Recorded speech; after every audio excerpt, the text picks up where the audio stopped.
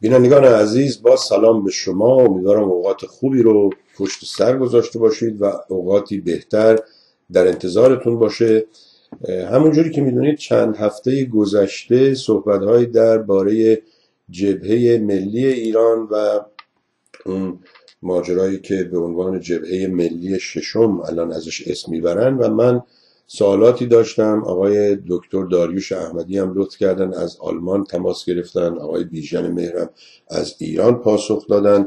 ولی معروف هست که میگن همیشه اگر می‌خوای آب سالم به نوشی برو از سرچشمه.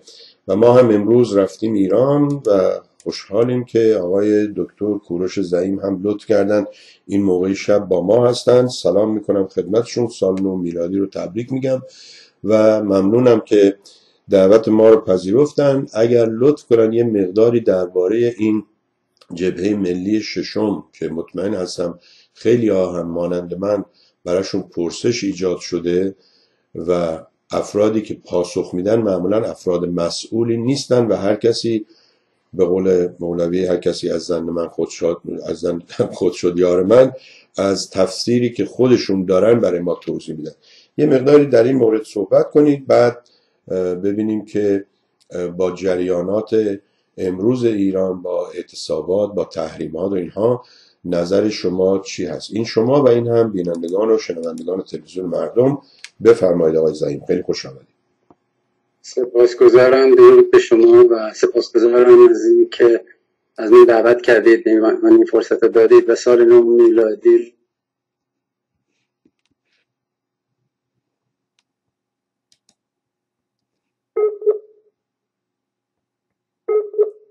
بله متاسفانه چون از ایران هست می نویسه که reconnecting there is a poor network connection.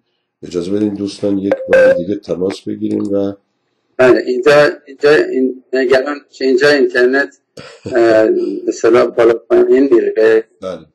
و این مشکل ما همیشه داره. اشکالی نداره. همین که شما رو داریم غنیمته و می‌سازیم فعلا امیدواریم یه روزی اینها دست بردارن از این فیلترینگ و از این اینها متوجه نیستن که سرعت زمان و اینها رو شما نمی‌تونی کم کنی به عقب برگردونی.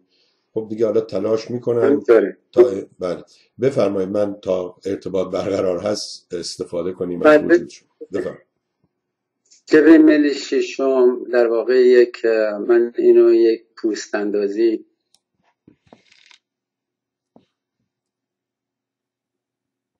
بله متاسفم. بازم صدا قطع شد. خواهی زمین می‌خواین ویدیو رو خاموش کنید؟ فقط با بله. عدم و عدم اظهار نظر و ارزاندام و نشان دادن حساسیت نسبت به رویدادهای کشور. بویژه تو سالهای اخیر که بحران و مشکلات کشور به طور تصاعدی افزایش پیدا کرده. اون جبه ملی چنان در حال رخوت بود که به هیچ وجه واکنشی نشون نمی‌داد. یعنی از زمان فوت آقای دکتر ورجاوند که عضو رهبری و سخنگوی جبه ملی بودن و آقای به بعد از اینکه آقای استاد ادیب فوت کردن این رخوت بیشتر شد. یعنی شما در واقع از این جبهه ملی از زمان فوت دکتر ورجاوند و از هم پاشیدن سیستم سلسله مراتب جبهه ملی شما یک بیانیه تحلیلی از آقایونی که بعدا عهدهدار مسئولیت شدن نمی‌بینید. درباره اوضاع کشور درباره چه کنیم و راهکارها راهبردها حساسیتها و خلافکاری هایی که توسط جمهوری اسلامی اعمال می‌شد روی بودجه روی سنهای کشور روی اقتصاد کشور روی محیط زیست کشور اصلا هیچ هیچ صدای اثری از جبهه ملی پنجم بلند نمی‌شد. ما همون زمان در زمان سال 86 هم ما این مشکل رو داشتیم ولی به شدت این ده سال اخیر نبود. همون موقع ما فکر افتادیم مراتب با پیشنهاد هیئت رهبری اون زمان که الان دو تنشون با ما هستن که جبه ملی شیشم تشکیل بدیم و یه روح تازه به این سازمان کهن ملی تاریخ ایران بدم البته آقای دکتر برجوان که فوت کردن این موضوع عقیم مان و ما به احترام آقای ادیب که تلاش می‌کردن تکونی بدن به جبه ملی موفقات آمیز نبود ما اینو دست نگه داشتیم. تا حالا تو اون زمان دهه هشتاد خب من سه بار زندانی شدم حالا از زندانی سال 80 61 و 75 که بگذاریم سه بار زندانی شدم. آقایون به هیچ وجه واکنش نشون ندادن. بیانیه ندادن حتی بیانیه تحلیلی ندادن و بعد این دفعه که از زندان مرخصی بیرون آمدم که الان هم در مرخصی هستم ما با آقای دکتر بابند که ایشون هم حالت ناامیدی داشتن از جبه ملی پنجم و آقای دکتر رشیدی که اصلا بایکات کرده بودن شورای جبه ملی پنجم رو بخواهد حتی که ایشون عضو شورای رهبری بودن تصمیم گرفتیم که اون برنامه ملی شیشم رو زنده کنیم و در شرایط بسیار بحرانی که من در یکی از صحبتام نوشتم که و نوشتم توی گفتگویم به تفصیل شهر دادم که شرایط فروپاشی در کشور مهیاست و شرایط فروپاشی جمهوری اسلامی فعلا بدتر از شرایط فروپاشی بود که در زمان فروپاشی شوروی رخ داد. روی این تحت به صلاح دیدگاه ما جبه ملی شیشم رو تشکیل دادیم گفتیم ما وظیفه داریم که به رسالت جبه ملی عمل کنیم و تحلیل بدیم پیشنهاد بدیم دیدگاه بدیم و نشون بدیم به مردم که ما هنوز هستیم. و این اندیشه پشت تشکیل جبه شیشم بود. البته بعضی خیال می‌کنن ما انشاب کردیم جدا شده نه همچین چیزی نیست. شما این پوست اندازی ها رو در خیلی کشورهای دیگه می‌بینید. مثلا در فرانسه ما جمهوری اول داریم چهارم داریم پنجم داریم. کشور فرانسه تغییری نکرده فقط سیستم مدیریتش تفاوت کرده. و جبه ملی هم همینطور. بسیار ممنونم. چون شما گفتید که جبهه ملی واکنشی نشون نمی‌داد خب میشه گفت عذر شما موجهه چون زندان می‌رفتید و اینها. ولی اون دوستان دیگه ای که در صدر کار بودن و مسئول بودن اونها به اصطلاح بهانهشون چی بود که به اصطلاح قبول نمی‌کردن که جبهه ملی باید فعالتر باشه و باید هر روز به واکنش ها و اتفاقاتی که در ایران صداتون قطع میشه.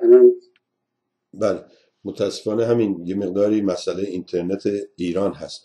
در صورت دوستان از ایران هم روی فیسبوک هستن. آقای خلوتی از شیراز می‌پرسن که آقای زعیم چرا جبهه ملی سالهاست مانند مدرسه پیرمردها شده؟ یک چهره جوان در بین شما دوستان نیست. این به اصطلاح آیا شما این کمبود رو می‌بینید که جبهه ملی نتونسته جوانها رو جذب خودش کنه یا از نظر شما اوکی و نرمال هست نه این دیدگاه درست نیست. حالا من بخوام زبان شما بگم it's a misconception. ما همیشه به ویژه زمانی که هیئت رهبری متشکل بود از دکتر برجاوند دکتر باوند دکتر رشیدی و ما به شدت می‌کرد. و سازمان های جوانان بسیار فعال بودن و جلسات زیادی داشتیم. حتی گاهی به هر جلسه سی تا هفتاد نفر می رسیدن ولی توی این مدتی که من می‌رفتم زندان و میمدم آقای دکتر پجوانم فوت کرده بودن. این رخوت به وجود اومد. جوانانمون دلزده شدن. چون هیچ حرکت و جنبشی از بزرگان جبهه ملی نشون داده نمی‌شد. ببینید اون موقع ما مثلا 16 تا طبق اساسنامه سازمان داشتیم. مثل سازمان پزشکان مهندسان سازمان فرهنگیان سازمان اسناف همینجور. الاخر و من وقتی آمدم مرخصی دیدم هیچی نیست. یعنی هیچ سازمانی نمانده. ما دوباره شروع کردیم جذب جوانان. خوشبختانه بسیار بسیار موفق بودیم. الان سازمانان رو داریم بازسازی می‌کنیم و جوانان به ما اقبال کردن. اصلا سیل درخواست عضویت بسیار زیاد شده. از خارج از کشور اعضای جبهه ملی و هواداران جبهه ملی که غیر فعال بودن و منفعل شده بودن دوباره جون گرفتن و اینا دائم در تماس هستن فعالیت بیشتری رو شروع کردن و من به راستی امیدوار شدم که جبه ملی داره خودشو به پایگاه اجتماعی که سزاوارش هست میرسونه.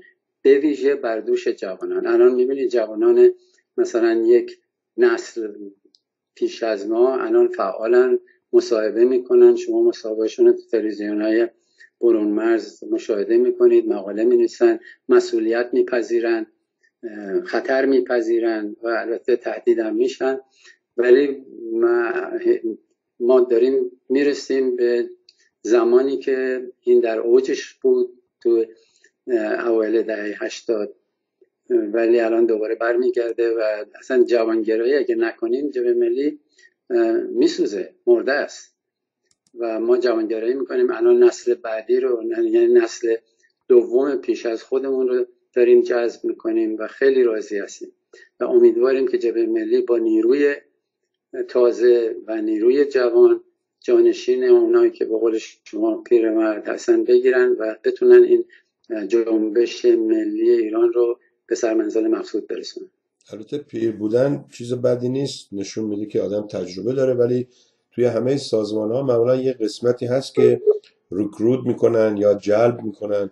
باز متاسفانه قطع شد. reconnecting there is no بله این, این اینترنت ضعیفه. ما با وجودی که گذاشتیم دو شب ایران باشه ولی احتمالا آقای زعیم رو اونجا زیاد به اصطلاح دوست دارن و کنترل می‌کنن. اینترنت و این چیزا رو. من یادم رفت برایشون بگم تمام وسایل دیگر رو از روی اینترنت خاموش کنید. احتمالا اگر کسی در منزل هست به جز خودشون توی این ساعت از اینترنت استفاده نکنن و فعلا باید با همین شرایط به سر ببریم تا ایشون بتونه تماس برقرار کنه. و من می‌خواستم سوال کنم که به اصطلاح فیسبوک آدرس اینترنت جبهه چون چیزهای مختلفی در خارج هست ولی حتی خود اینها با هم اختلاف دارن در خارج و میگن اصلی نیستن.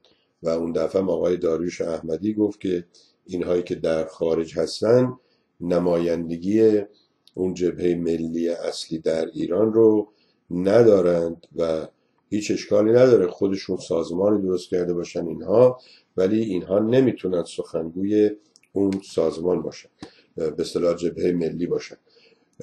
دوستی هم سوال کرده وقتی من گفتم که آقای کوروش زعیم میان اینجا ایشون نوشتن که ازشون سوال کنید که نظرتون البته نیستن آقای زعیم بذارید آقای زعیم بیاد سوال می‌کنیم. سوالها زیاده متاسفانه این اشکال اینترنت اینجا برطرف نشد. بذارید من یه بار دیگه تماس بگیرم ببینم. شاید بگم بهشون که این بار بدون تصویر بدون ویدیو فقط با صدا آدیو بیان با ما باشن. شاید ارتباط بهتری بتونیم داشته باشیم. بله. بازم می که there is a poor network connection. خیلی جالبه شنیدم یکی از مسئولین ایران باش مصاحبه کردن گفتن شما اینستاگرام داری؟ گفته نه من برای خودم ندارم ولی برای سگ سگ خودم یک صفحه اینستاگرام باز کردم. احتمالا اونجا چیزا رو می‌نویسه. دوستان همینجوری که اینجا می‌بینید بذارید من بهتون نشون بدم. می‌نویسه که connection نیست. یک لحظه این کامرای دو بله. هشت براتون بیارم. اینجا هست کامرای دو. ببینید این سه connection نیست و کارهای عجیب و غریب هم انجام میده. حالا امیدوارم بتونیم تا آخر برنامهشون رو داشته باشیم. ساعت سه بعد از ظهر با آقای امیر حسین لادن خواهیم بود. چهار بعد از ظهر هم ویدیوی شماره 207 آقای حسن ارشاد رو که نقد فیلم باب هست و فکر کنم گفتودن این آخرین قسمت نقد فیلم باب هست یا گیت. و شما هم می‌تونید اگر برنامه هایی رو دوست دارید یا خودتون مجری هستید در تلویزیون مردم برنامه داشته باشید. به نظر میاد که ارتباط وصل شدنی نیست. اجازه بدید من اینو قطع کنم یه بار دیگه. باز تماس بگیرم. من معمولا برای دوستان قبلش میفرستم که مودمتون رو خاموش کنید روشن کنید و فکر کردم چون آقای زعیم می‌بینم هر روز با به اصطلاح رادیو تلویزیون های مختلف مصاحبه دارن گفتم احتمالا وضع اینترنتشون خواهش می‌کنم. بله. خیلی اینترنت ما کمی. اب نداره. می‌خوان شما تصویر ندین به ما. من فقط همین صداتون رو پخش می‌کنم و اون عکستون رو از روی face چیز می‌ذارم از روی اسکایپ می‌ذارم. هست؟ بسیار. خب حالا تصویرم اومد حالا اگه تا هست استفاده می‌کنم. بله اونجایی که شما گفتید اگر بخوان افراد جذب میشن و این recruiting یا جذب افراد هم کار می‌کنه من خواستم سوال کنم مثلا کسی اگه ایران می‌خواد به اصطلاح عضو بشه اولا جبهه ملی فعالیتش در ایران قانونیه یا غیر قانونی باشه چشم. بله. ببینید در مورد قانونی یا قانونی نبودنش بحث زیاد بوده. توی بازجوییان که در دهه هشت خیلی زیاد بود می‌گفتن شما یک سازمان غیرقانونی هستید. باید برید ثبت نام نویسی کنید در وزارت کشور. گفتیم ما هر دفعه پاسخ می‌دادیم که نه این جبهه ملی ایران سال یک آبان سال 28 رسما نام نویسی کرده و ثبت شده و هیچ قدرت دیگه ای نمی‌تونه این ثبت رو منحل کنه مگر مجلس شورای ملی. حالا نه مجلس شورای ملی داریم و نه اینکه کسی دیگه حق داره. مثلا با نیاز داریم دوباره نام نویسی کنیم. این همینجور معلق مونده. ولی کسی زیاد پاپی ثبتش و قانونی بودنش نبوده. فقط موقعی که می‌خوان حکم زندان بدن می‌نویسن چیز فرقه غیر قانونی نمی‌دونم معاند مرتد جبه ملی ایران. بنابراین ما چون این لقبا داریم دیگه نگران ثبت جبه ملی نیستیم. آقای زعیم شما درباره فروپاشی رژیم صحبت کردید. شما مشهور هستید برای اینکه قبل از فروپاشی شوروی و تبدیلش به روسیه شما سالها پیشش نامه ای نوشته بودید مقاله ای نوشته بودید. حتی اعتراضی هم بهتون شده بوده. ولی چیه؟ و جبهه ملی هم حتی در زمان شاه هم نامه می نوشته اختار می‌داده به شاه. و توجه نمی‌کرده شاه و دیکتاتورها معمولا اینجوری هستن. چی فکر می‌کنید؟ آیا آخوندها اینقدر زرنگ هستن که گوش بدن به صدای شما به هشدارهای شما به تظاهرات مردم و مثل دیکتاتورهای دیگه وای نسن تا اون آخر؟ چون اون آخر چیز جالبی نیست. اگر یکی یکی سرنوشت دیکتاتورا رو مطالعه کنیم می‌بینیم سرنوشت خوبی نیست. چی فکر می‌کنید شما درباره ایران و این مخصوصا هشداری که شما دارید می‌دید که رژیم فرو میپاشه؟ و رژیم اشکالی نداره فرو بپاشه. اگر خودشون یه کمی با فکر بیان جلو ممکنه بتونن اصلاح کنن. البته خیلی قشنگ شما تو مصاحباتون گفتید اصلا چیزی نیست که اصلاح پذیر باشه. شما چی رو می‌خوای اصلاح کنید من ساکت میشم شما بفهم بله خواهش می‌کنم. ببینید اون نامه ای که جبه ملی به هنگام به شاه نوشت با سه امضا اونجا به شاه گفت بوده که باید دموکراسی و آزادی اینا رو برقرار بکنه. واقعا جبه ملی اونجا وظیفه ملیش رو انجام داد چون قدرتی نداشت. فقط می‌تونست پیشنهاد بکنه و پیشگام بشه که اون تغییر یا گذر رو انجام بده. ولی بعدا ما توی خاطرات علم فکر می‌کنم بود خوندیم که شاه وقتی این نامه رو می‌خونه با عصبانیت اونو پاره می‌کنه میگه مگه اینا هنوز زنده هستن؟ بنابراین دیکتاتورها معمولا خوششون نمیاد کسی بهشون بگه که آخرش رسیده. ما بله اون مطلبی که اون زمان سال 58 نوشتم و بعد به صورت کتاب شد و به صورت توی روزنامه میزان هم چاپ شد به صورت پاورقی. پیشنهادی کرده بود و پیشبینی کرده بود که خوشبختانه درست از آب در اومد. من حالا اتفاقا اخیرا که این مطلب رو دوباره یادآوری می کردم توی کتاب اتفاقا تو زندان کتاب زیادی رو میخوندم. چند تا از سخنان و به صلاح خاطره های بزرگان شوروی سابق رو یادداشت کردم. اینا خیلی جالبن که هر کدومشون گفته بودن به چه دلیل شوروی فرو پاشید. و دیدم این تقریبا با اون چیزایی که من نوشتم تقریبا حالا 80 درصد با هم منطبقن. اگر وقت داریم من براتون بخونم خیلی جالبه. چیزی نیست فقط دو سه دقیقه طول می‌کشه. بفرم بفرم ببینید مثلا اینا رو من توی این یکی از مصاحباتم نوشتم. گفته بودم بعد نوشتم. مثلا سرگی بابورین معاون رئیس مجلس و عضو دو دوره دومای روسیه یعنی بعد از فروپاشی این عوامل رو از دلایل فروپاشی شوروی دونسته. کشیده شدن شوروی به جنگ سرد که ما کشیده شدیم به جنگ سرد توی همسایگیمون. و قفلت از توسعه اقتصادی و رفاهی. که جمهوری اسلامی هم این قفلت کرده شدیدتر از شوروی. درس عبرت نگرفتن از چین زمان ماو.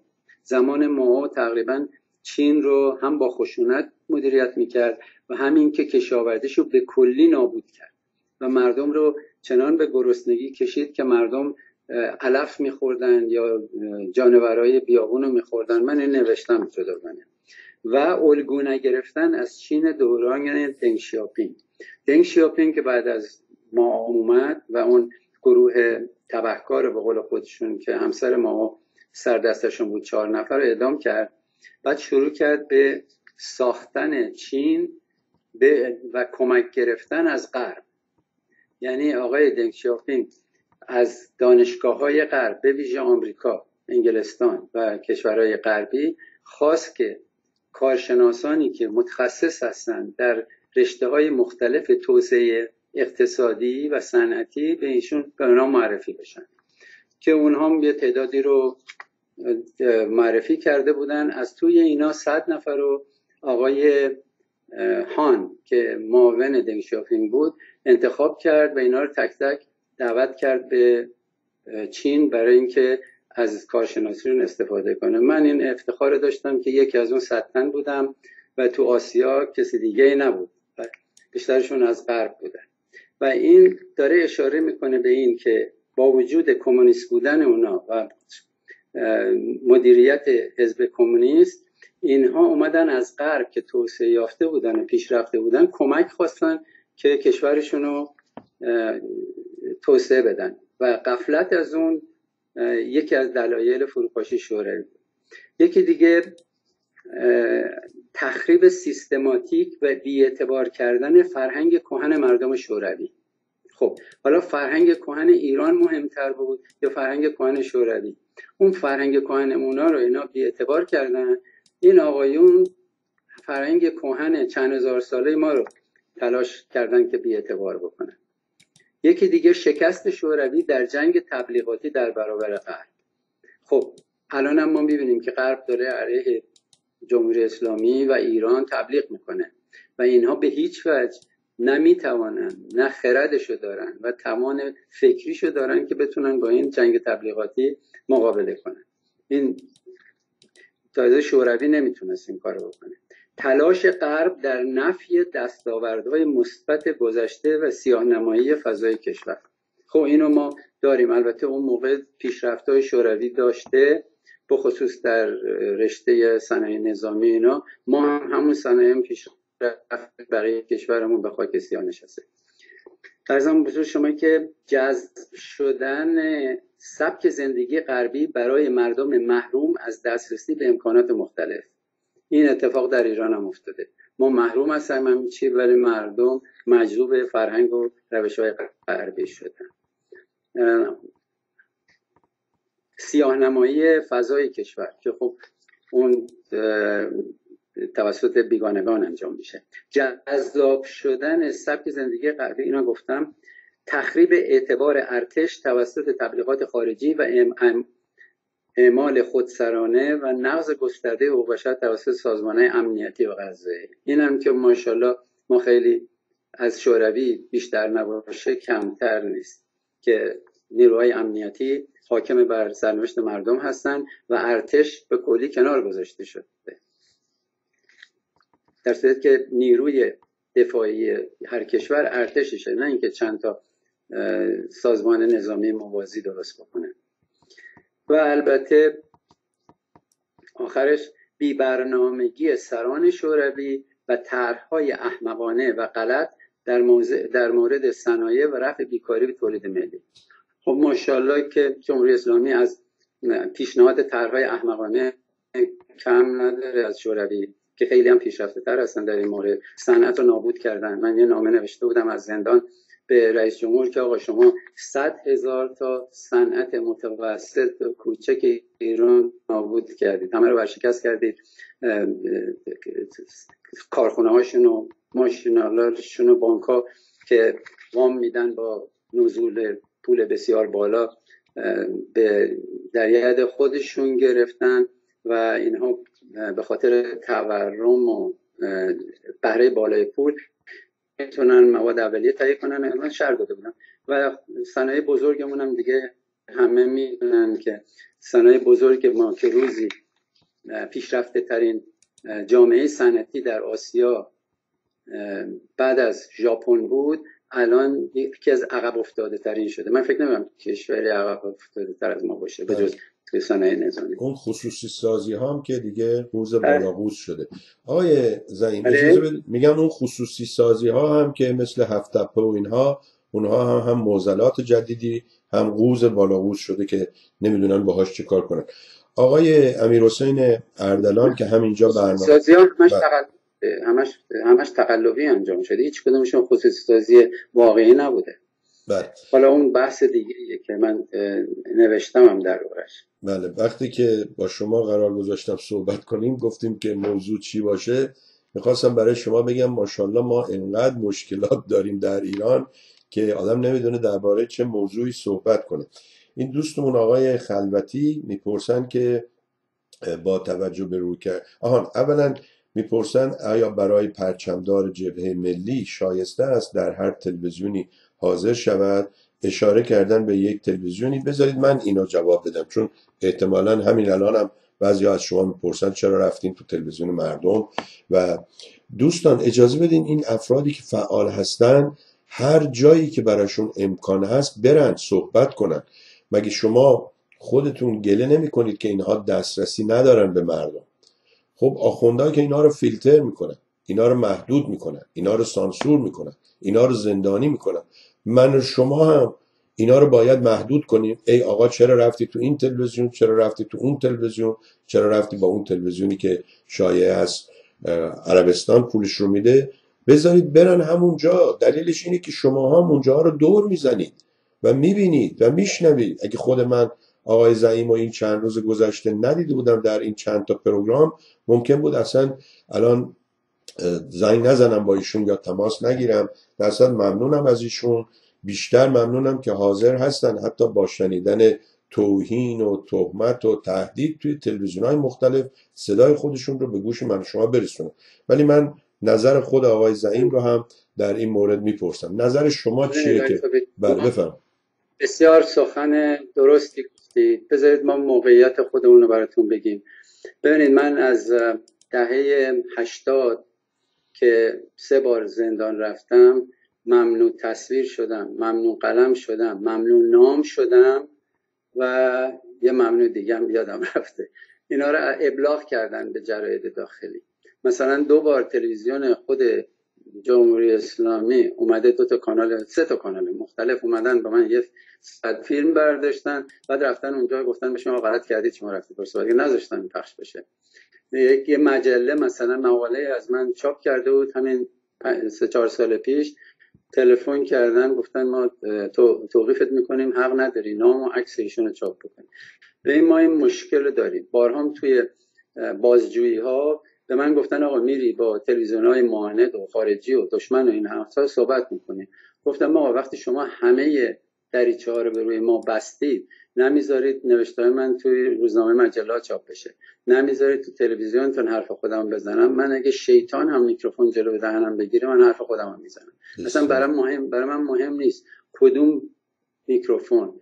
دست کیه و مالکش کیه؟ من باید حرف خودم رو بزنم و می‌زنم. شما اونا رو باز کنید من اینو کوتاه میام بسیار عالی. اینا اگر اگه فکر درستی داشتن باید به شماها اجازه می‌دادن توی رادیو تلویزیون های خودشون صحبت کنید یا خودتون بتونید این روزا رادیو تلویزیون را انداختن. انقدر ساده شده ولی اینا با همون محدودیت هایی که ایجاد می‌کنن. بله از اون ور از اون ور مردم رو معروف دیگه. میگن مردم رو اگه شما نذارید روی زمین صحبت کنن میگن یه چیز دیگه هم بگم. حالا تعجب می‌کنید.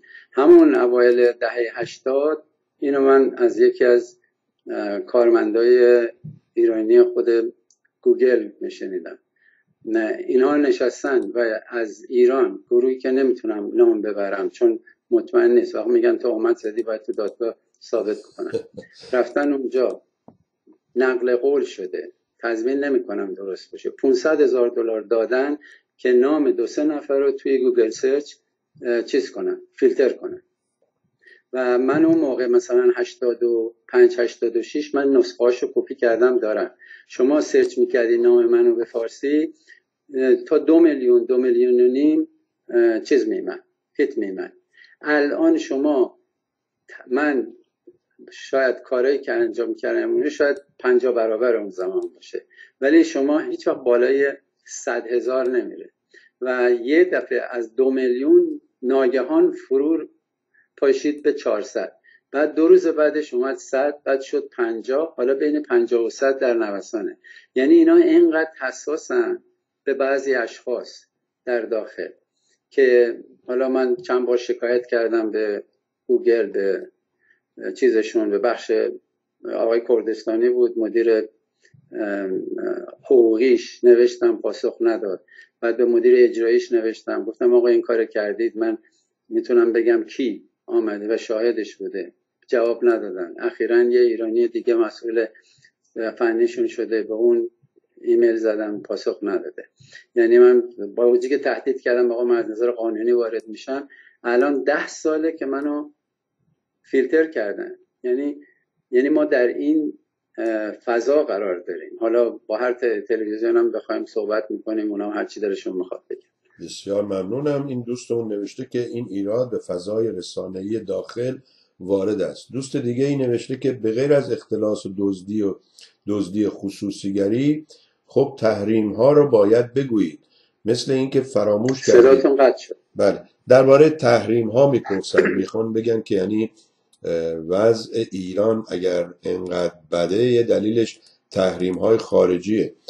خب نظر من اینه که اگر آخوندا بذارن افرادی مثل شماها تصمیم بگیرن دیگه هیچ کشوری با ایران بد نیست که بخواد تحریم کنه یا بخواد تبلیغات سو انجام بده. چون یکی دیگه از دوستانم سوال کردن که شما درباره تبلیغات سو و شعارهای خارجی چه برنامه و چه هدفی داریم من فکر کنم شما چون می‌خواین با همه رابطه خوب داشته باشید مشکلی نخواهید داشت ولی از خود شما بشنویم ببینیم چی میگید. بفرمایید. ببخشید پرسشی بود من نشنیدم. بله می‌پرسن که شما اگر به اصطلاح بیان یا آینده مسئولیتی داشته باشین نظرتون درباره تحریم ها چیه؟ نظرتون درباره تبلیغات سوء کشورهای غربی چیه؟ متاسفانه دوستان مثل که باز اینترنت اشکال داره و اینشالا این سوالا رو بعد برای ایشون من بفرستم از شما خواهش کنم که اونجا پاسخ بدم. بذارید باز اینو من قطع کنم.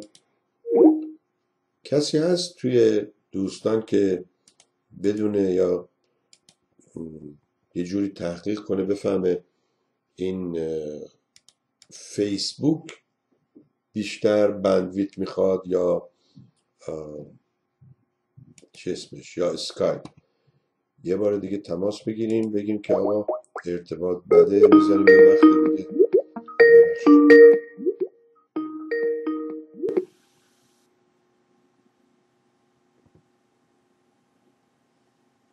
بگیم این بار فقط آدیو بیا بله. باز همینو می نویسن که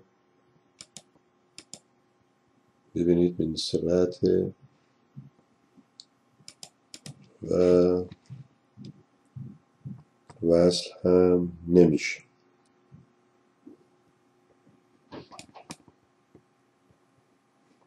خب من سب می‌کنم اگر از اون طرف ایشون بتونه تماس بگیره و اینم دیگه یه شگرد دیکتاتورا هست که فیلتر می‌کنن امکانات رو کم می‌کنن و تازه حالا اون دوستون میگه که چرا با تلویزیون های دیگه مصاحبه کردید؟ خب اینا وقتی امکان دارن باید برن از همون امکان از همون لحظه از همون روز بیشترین استفاده رو انجام بدن. آقای یوسفی نوشتن که بسیار بهتر است فضای رسانه‌ای انحصاری نباشد بلکه باید بیشتر در اختیار مخالفین قرار گیرد تا توان و نظرات آنها مورد ارزیابی قرار گیرد و روشنگری شود.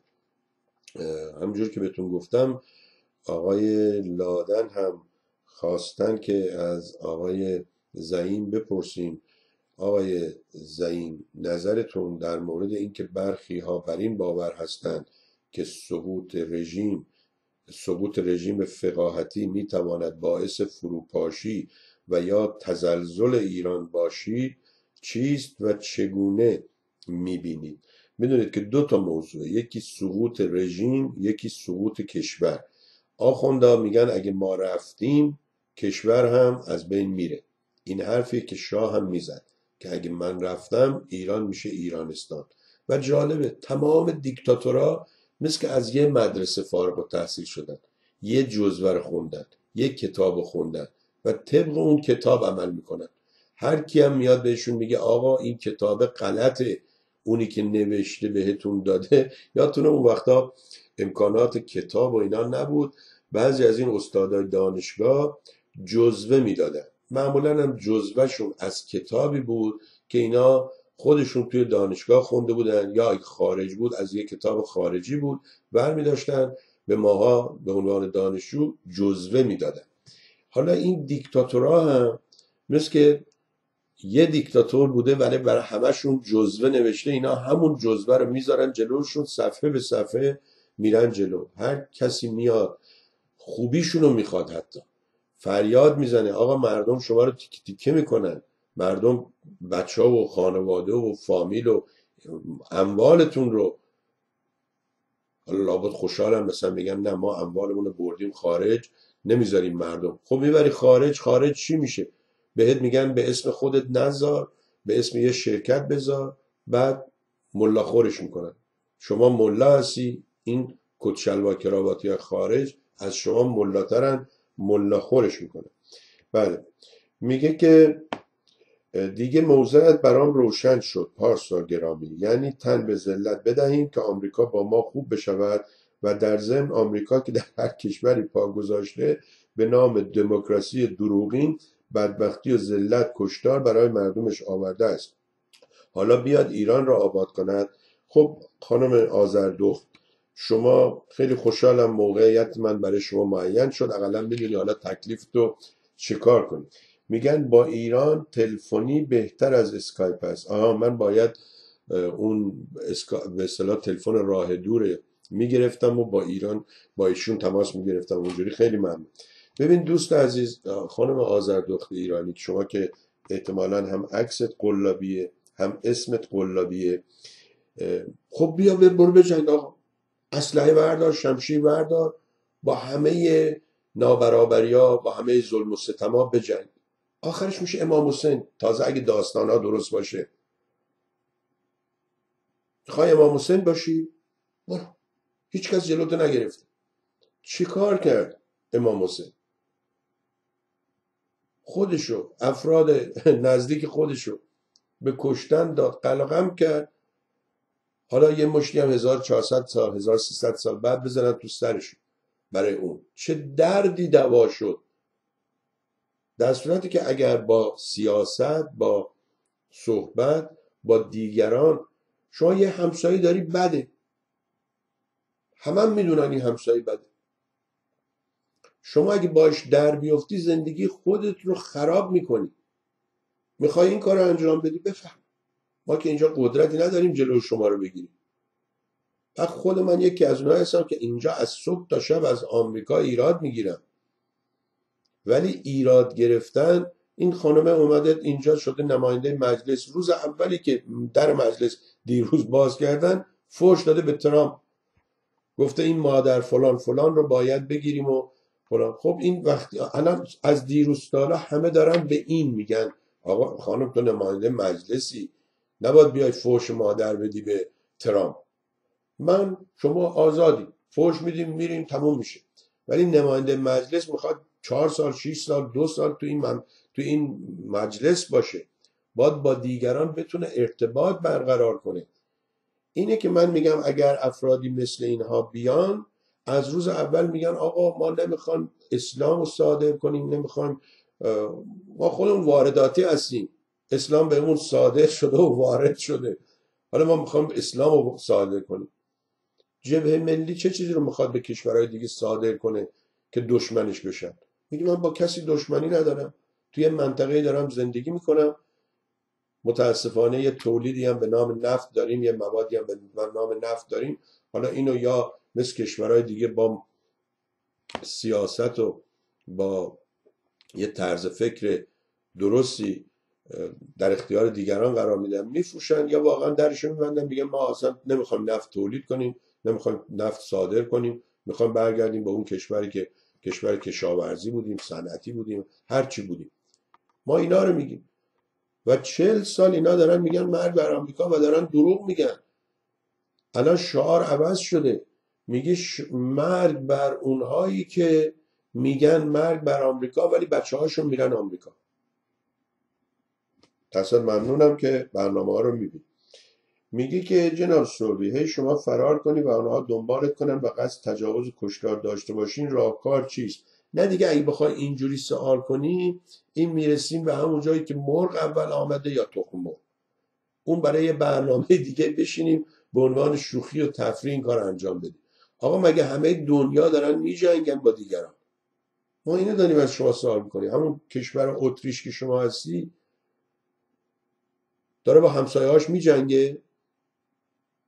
از اونجا شعار میده به اون ور دنیا. روزای جمعه نماز که می‌خوان برن بخونن مرگ بر اسرائیل مرگ بر آمریکا. بعد برید ببینید همین آخوندا با اسرائیل و با آمریکا چه رابطه‌ای داشتن. صحبت های آقای بنی صدر رو گوش کنید. دیروز یا پریروز یه مصاحبه انجام داده درباره اون برنامه کربلای چهار کربلای پنج که رضایی گفته بود ما اونو علکی درست کردیم که گول دشمن بزنیم. شیش هزار جوون ایرانی رو کشته و مجروح و چی میگن اونای دیگه که جان باز هستن. بعد حالا میگیم ما اینو برای کلک بزنیم به اونها. هیچ کم جواب آقای بنیسر میگه اصلا جنگ 59 شروع شد باید 60 تموم می‌شد. خود رفسنجانی یه ما رفتیم امام به امام گفتیم می‌خوان خسارت بدن عربستان حاضر خسارت بده. امام گفت نه میجنگیم. خب مردک شماها چه چیز نظامی داشتین؟ چه تجربه داشتین؟ با چهار تای دیگه صحبت می‌کردیم چه تفاوتی بین اونها و ترامپی که میگه من از تمام ها بیشتر می‌دونم.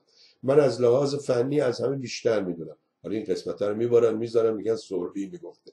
نمی‌دونم راه و ساختمون میشه میگه من بیشتر می‌دونم. برق و الکترونیک میشه میگه من بیشتر می‌دونم. این که نمیشه که.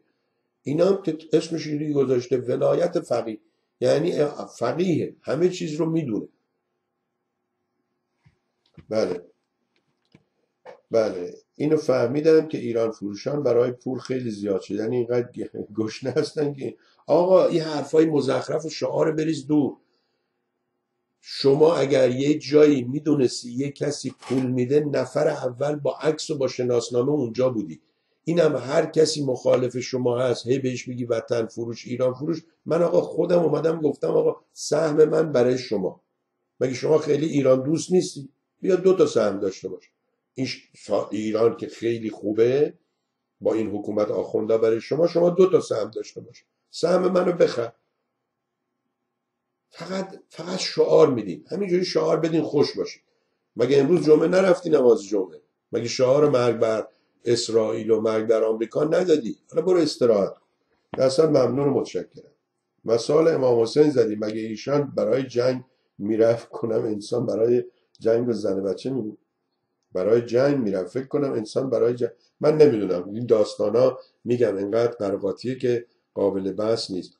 سعی می‌کنم یه وقت دیگه تو هفته آینده با آقای کوروش زعیم صحبت کنیم چون صحبت ها خیلی زیاده.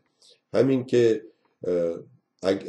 خود آخونده اینو به حالا به خورد مردم دادن احتمالا همین خانم آزردخت یا دیگران بهشون گفتن اگه اینا بیان اینجا میشه سوریه. درست همون ماجرا و اینا میگن خب پس خود منم باورم اینه که میگم ریخت و پاش میشه ممکنه جنگ داخلی بشه. شما می‌دونید ایران از زمان صدام قرار بوده پنج قسمت یا شیش قسمت بشه که کردا این ور بلوچا این ور لورا اون بر اون بر فارس این وسط و ترکا اون بالا اینجوری که کسی کاری به کسی نداشته باشه. ولی به این سادگی انجام نمیشه. جنگ داخلی میشه. همینجا الان میترسن ترامپ رو ایمپیچ کنن یا استیزا کنن. میگن چون طرفدارای این حالیشون نیست که آقا این خلاف کرده باید خلافکار رو گرفت. عصبانی میشه میره تو خونه تفنگش برمیداره میاد تو مدرسه ها شلیک می‌کنن توی نمی‌دونم کلیسا و فلان اینا شلیک می‌کنن توی کارخونه ها شلیک می‌کنن توی post office شلیک می‌کنن و میگن بابا بهتر این باشتش دو سال دیگه بگذره ببینیم حالا تا اون موقع یه جوری از بین بره. یا مریض بشه یا طبق قانونهای دیگه بگیرنش که الان 17 18 تا پرونده بزرگ بازه. بله خیلی ممنون. دوستمون نوشته که بله موقعیت جنگیده اتریش اروپا و مصریت هزار سال رسیدستان خدمت دارن و خسته شدن و یاد گرفتن جنگ باید و جای دیگر رو آرامش اگر نجنگیده ناتو در همه کشورها درگیر جنگ هستن. ولی شما که الان تو اتریش داری زندگی می‌کنی هر روز مثل مردم ایران یه مشکلی برات نداره. یه روز مشکل جنگ ایران و عراق یه روز مشکل تهدیدهای کشورهای دیگه است. یه روز یه روز گرونیه یه روز نمی‌دونم بنزین کپنیه. بره به جنگ ها. اصلا ایران لشکرکشی کنه ناتو که خوبه یه چیزی درست کنه بره یه جای دیگه بجنگه ولی مردم خودش رو آمریکا اینکه همه می‌خواد خودشونو به کشتن بدن بیان آمریکا برای چیه؟ برای که آمریکا همه دنیا رو قارت می‌کنه جنگ می‌کنه ولی که چی؟ کشور خودش اینجوری باشه. همه از خوراک زیاد اووروید یا وزنا بالا مریض. ولی همین دیگه ارزونی و نعمت. الان بنزین که شما داری می‌زنی آمده زیر یعنی شد 50 درصد چند سال پیش. به 4 دلار رسیده بود الان شده دو دلار. زیر دو دلار بنزین. شیر از بنزین گرونتره اینجا. شیری که گاوه هم اینجا وایساده بود داره چمن هم اینجا رو می‌خوره و هیچ بکش از اون ور دنیا بیار و تصفیه کن و اینا نداره. شما یک گالون شیر اگه می‌گیری چهار دلاره یک گالون بنزین دو دلاره. آخه یه مقدارم انصاف داشته باشید. و اگر نه شما ما رو قبول نداری. برو آقا بجن خوش باش. شما این بغل تلویزیون مردم توی فیسبوک ببین نوشته چی؟ نوشته تلویزیون مردم باور داره که جنگ و کشت و کشتار مشکلی رو حل نمی‌کنه. دنیا رو بدتر و دنیا رو به این روز انداخته. بعد نوشته اگر شما هم با ما هم عقیده هستید بیاین صحبت کنیم بیاین حمایت کنید و لا و الی آخر. که ماشاءالله حمایت که اصلا خبری نیست. اون دوستمون قشنگ نوشت. نوشت آقا من مفتخورم گفتیم اوکی. خیلی ممنون. آقا خیلی من خانم هر کی. من برو آقا. برو حداقل سوادت رو زیاد کن. چشم. شما یک کلاس بذار اول بیا بیرون. برو دیگه اینجام چی ننویس تا من بلاکت نکردم. اول شما بیا بیرون. یک کلاسی بذار. دو کلمه حرف بزنن مردم بفهمن. شما بلدی؟ ما میان کلاس شما. ما سر کلاس رفتن که برامون به اصطلاح خجالت نداره که افتخار می‌کنیم که بیام سر کلاس شما بشینیم از شما یاد بگیریم. اینم از دوستان ساعت دو پنجاه و یک دقیقه است. خیلی متاسفم که نتونستیم با آقای دکتر کوروش کوروش زعیم اونجوری که می‌خواستیم برنامه رو به اصطلاح ادامه بدیم و با هم گفتگو شنودی داشته باشیم سعی می‌کنم هفته آینده یا دوشنبه یا چهارشنبه این گفتگو رو دوباره به نحوی بهتر انجام بدیم. خیلی ممنون. خانم تندازی میگه آسولی زیاد سر به سر ترامپ بذارید ترامپ را میفته میاد اروپا رئیس اروپا میشه. گفت گفت تو برنامه ها گفت که ببینید از اون میگه اروپایی ها منو دوست ندارن. دو دقیقه طول نکشید. گو البته من اگه بخوام برم اروپا کاری بشم همه اروپا منو دوست دارن. این مرد دیوانه است. من نمی‌دونم یه نفر باید چند تا کار دیوانگی انجام بده تا شما به دیوانه بودنش رضایت بدید این مرد دیوانه است. روانی نارسیسیست خودخواه این دیدید خانمش و بچهش دارن میان چتر می‌گیره رو سر خودش. حتی یکم نمی‌گیره که اونا حالا زیر چتر باشن. بعد طرف اینایی که روانشناسی خوندن چند تاشون تا حالا گفتن تمام شواهد و قرائن و علامت هایی که تو این هست از این حکایت می‌کنه که این اگر یه جای آتش سوزی بشه همچین که حتی ممکن اونا رو بزنه کنار خودش بخواد بیاد بیرون اونا اونجا بسوزن. دستت که دیدید که مثلا مردا پدرها مادرها میرن بچه ها رو می‌کشن از تو آتیش میارن بیرون. ولی این اینجوری نیست. حالا ما ایرانی ها نشستیم که آقای ترامپ بیاد نجاتون بده. حتما می بعد من شانم میاد که ببینید دوستان واقعا خود اینها چقدر احمقن. این خانم آزردخ که قلابیه نوشته من شعنم میاد که حرفای تو رو گوش کنم. بی سواد. حیف وقت. یکی بگه احمق کسی برات دعوت نامه فرستاده بود؟ تا آمدی نشستی گوش می‌کنی. یعنی اینا با خودشون هم مشکل دارن. تو نشستی داری گوش میدی. بعد من شعنم میاد. اصلا این کلمه در... جمله درسته؟ من شعنم میاد. خب. دوستان عزیز در تلویزیون مردم شما می‌تونید برنامه خودتون داشته باشید. شما می‌تونید نظر بدید. همینجوری که اینجا نوشته بودیم می‌تونید مهمان برنامه ما باشید. ببینید تماشا کنید نظر بدهید مهمان برنامه های آینده باشید و با این شماره تلفن هم می‌تونید با ما تماس بگیرید. 202 695 25 73 خب میگه که این خوشنودی خیلی خوبه. میگه یک ساعت کسر شهنت نشده بود نشستی نگاه می‌کنی و هی میگی حیف وقت رو نمیری سایبری فیک. من باید خوشنودی این یکی از این ادمینا رو بدم به تو بعد به شما. ببخشید. من چون مثل داداش کوچیکترم هست ایشون بهش میگم تو. بدم به شما بعد هر وقت یکی اینجوری کرد بگم که آقای خوشنودی آزردخت بلاک کن شما اون وقتا یادتونه اتوبوس های بین راه اگه کسی کفششو در می آورد راننده اتوبوس به, به شاگردش اول شک می‌کردن. می‌گفتن کسی کفششو در نیاره. اگه کسی کفششو در ورد ما میندازیم بیرون.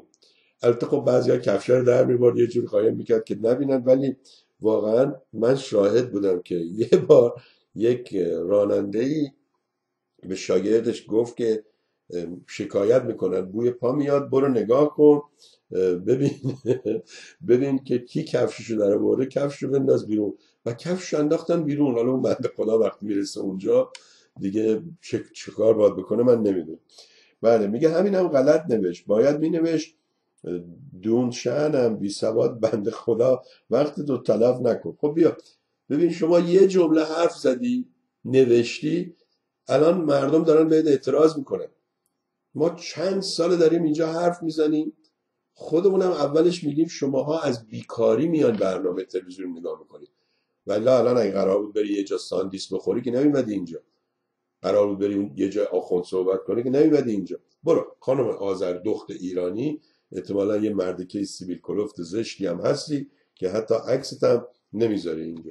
خب دوستان عزیز دو و پنجاه و شش دقیقه است. بذارید من آقای امیر حسین لادن رو که ما سعی می‌کنیم هر وقت ایشون به اصطلاح امکان داشته باشه و بتونه ازش استفاده کنیم توی برنامه ها گاهی وقتی جاهای دیگه مصاحبه دارن یا کارهایی دارن که باید انجام بدن متاسفانه نمی‌تونن بیان. بذاریم ما بنویسیم امیر حسین از بس نیومدی. آقای لادن ببین توی چیز حالا مشکل پیدا کردن شما. آقای لادن دو تا چت 21 days ago بله اینجا میگه با هم صحبت کردید. 21 روز قبل. اینجا ما بنویسیم ready یعنی آماده اید آماده ام آماده ام. بله. حالا اینا اینا خیلی وقتتو نذار آقای خلوتی. غلط قلود اصلا اینا با غلط اصلا غلطی دنیا اومدن و برای خودشون چهار تا دوست دارن با هم میگن و می‌نویسن و خوشن و اصلا مغزشون دیگه حاضر نیست. یه پدیده دیگه. من با جبهه ملی خیلی اختلاف دارم. خود آقای زعیم می‌دونه. خود آقای بیژن مهر می‌دونه. خود آقای داریوش احمدی می‌دونه.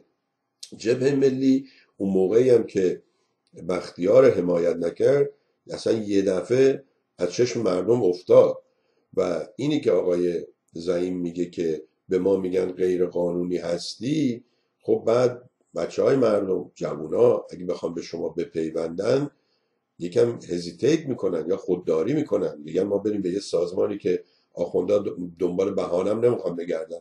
فوری میگن بفرما شما رفتی جزو این سازمان غیرقانونی شدی.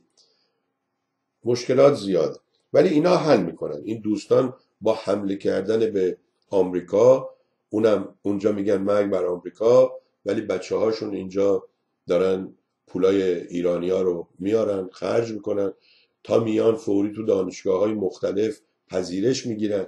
این پذیرش ها یادتون باشه دوستان تو آمریکا به این صورت. مثلا من اگر یک پول کلانی کمک کنم به یه دانشگاهی بعد می‌تونم یه نامه بنویسم بنویسم که این آقای خلوتی رو شما قبول کن. اونا این آقای خلوتی هر قدرم اصلا رشتهش نباشه میگن آقا این بیاد چون سوربی پول داده. این مثلا جورج بوش میاد میگه من از یل فارغ تحصیل شدم برای چیه؟ برای که باباش کلی پول داده. آقا رضا پهلوی رفته نمی‌دونم کالیفرنیا. اونجا گویا مادرش خیلی اونجا کمک کرده بوده. البته دانشگاه رفتن آمریکا شما بالاخره شروع می‌کنید توی دانشگاه اسمتو می‌نویسی چون پولیه مثل دانشگاه آزاد ایرانه.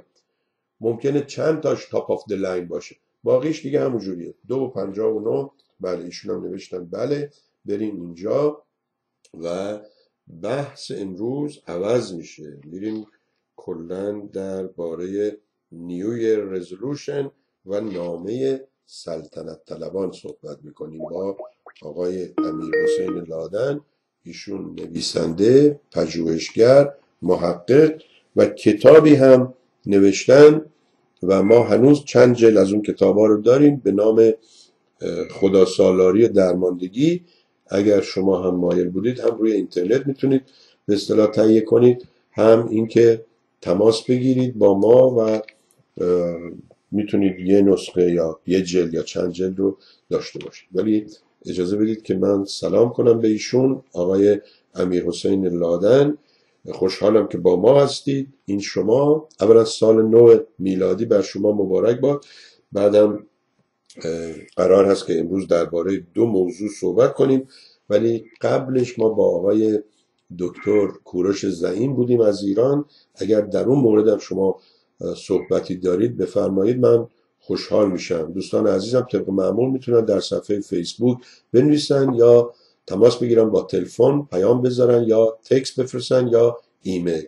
آقای لادن خوش آمدید. با شما هستیم. بفرمایید.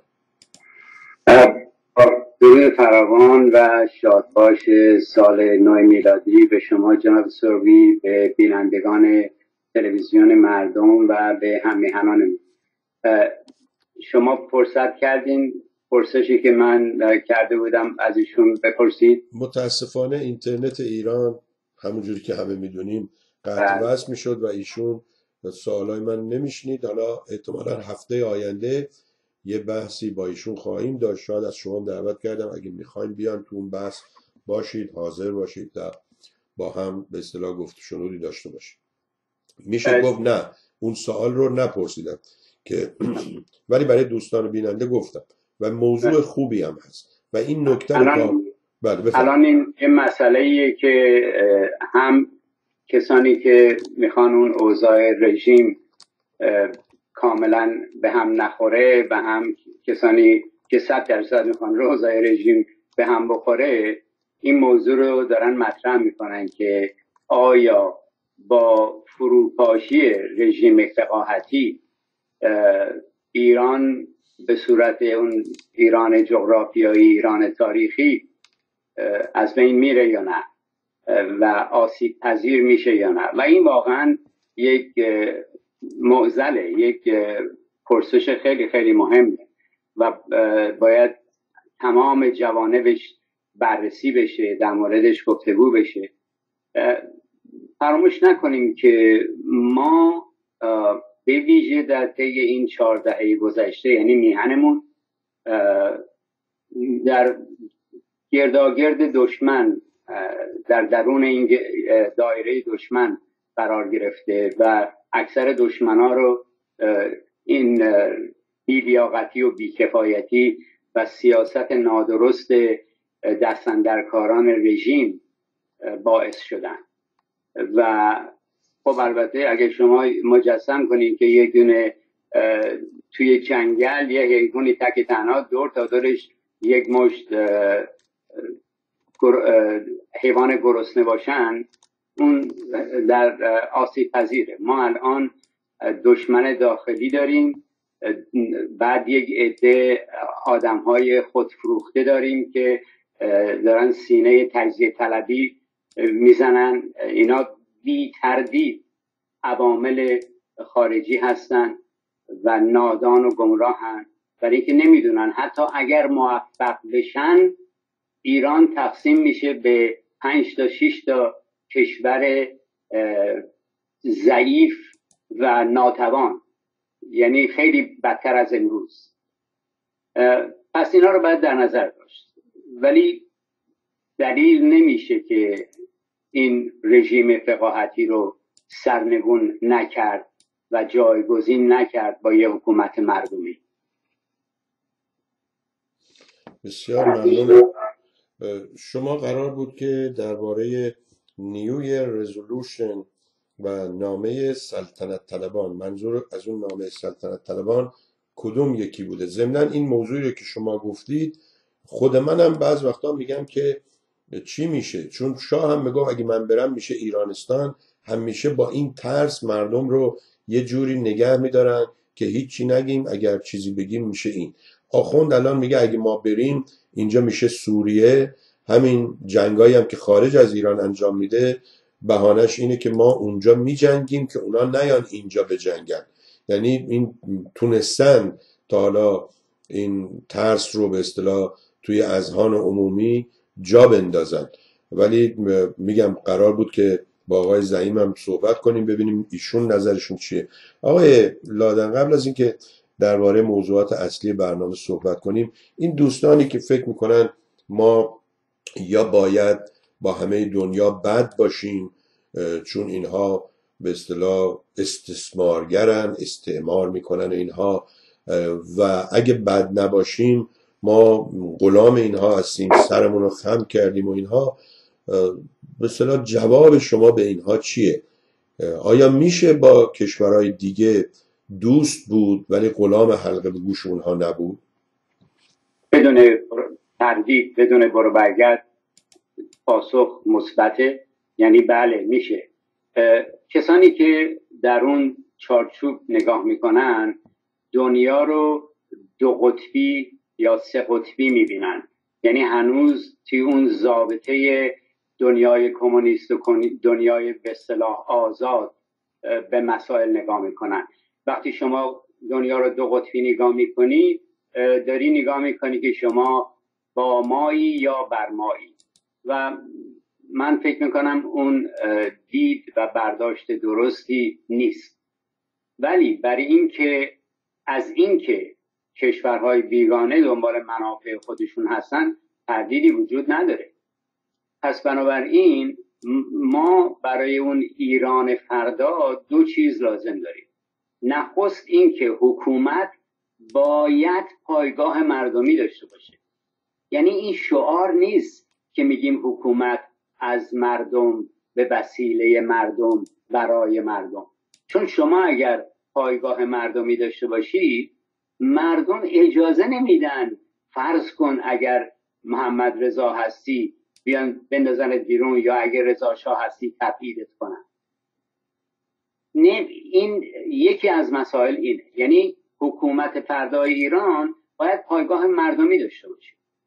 دومیش اینه که میبایستی شما به اندازه کافی قدرت برای خودت به وجود بیاری امنیت به وجود بیاری که هر کس و ناکسی نخواد تجاوز کنه یا آسیب پذیرت کنه. و میشه در دنیای امروز میشه با کشورها رابطه های دو طرفه بر اساس احترام متقابل و بدبستون زندگی کرد. من تردیدی ندارم که این کار میشه کرد. آیا وقتی ما این دوتا رو داشتیم و این کار کردیم دیگه دست از سر ما بر میدارن؟ نه کاملا. ولی موقعیتمون دیگه موقعیتی نیست که بگن اگر الان بخواین حرف بزنین شما میشین مثل سوریه. و این یک عوام فریبیه واقعا. برای اینکه باید نگاه کرد که فرض کنه همین سوریه رو که الان می‌بینیم چرا سوریه در چنین موقعیتیه؟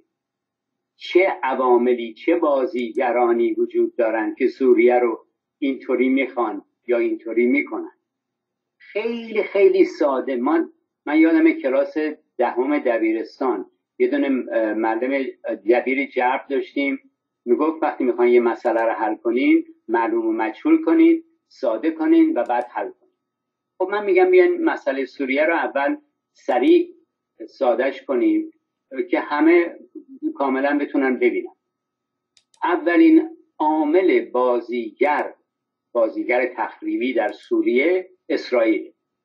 اسرائیل که می‌دونین که اون منطقه که بهش میگن گولان هایت ارتفاعات گولان یا ارتفاعات جولان نمی‌دونم به اون زبان خودشون چی میگن. تو ایران می‌گفتن بلندی های جولان. بلندی های جولان. ببخشید نخواهش من این اسرائیل اینا رو گرفته و تحت هیچ شرایطی پس نخواهد داد. به هیچ عنوان زیر بار نرفته و نمیره و حتی توی مجلس اسرائیل یک دونه لایحه گذروندن که شده جزو کشور اسرائیل. خب اسرائیل نیاز داره که سوریه یک کشور چند تیکه یا یک کشور ناتوان باشه که هیچ وقت نتونه ارزندان بکنه و بخواد اونو پس دو ترکیه. می‌دونیم که ترکیه نیم قرن بزرگترین مسئله ترکیه کردها هستن. و زمان اون دورانی که صدام دیگه زیاد نمی‌تونست هارت پورت بکنه ترکیه می‌رفت توی کشور عراق کردها رو بمباران می‌کرد. و بعد از اون دیگه هر کاری دلش می‌خواست می‌کرد.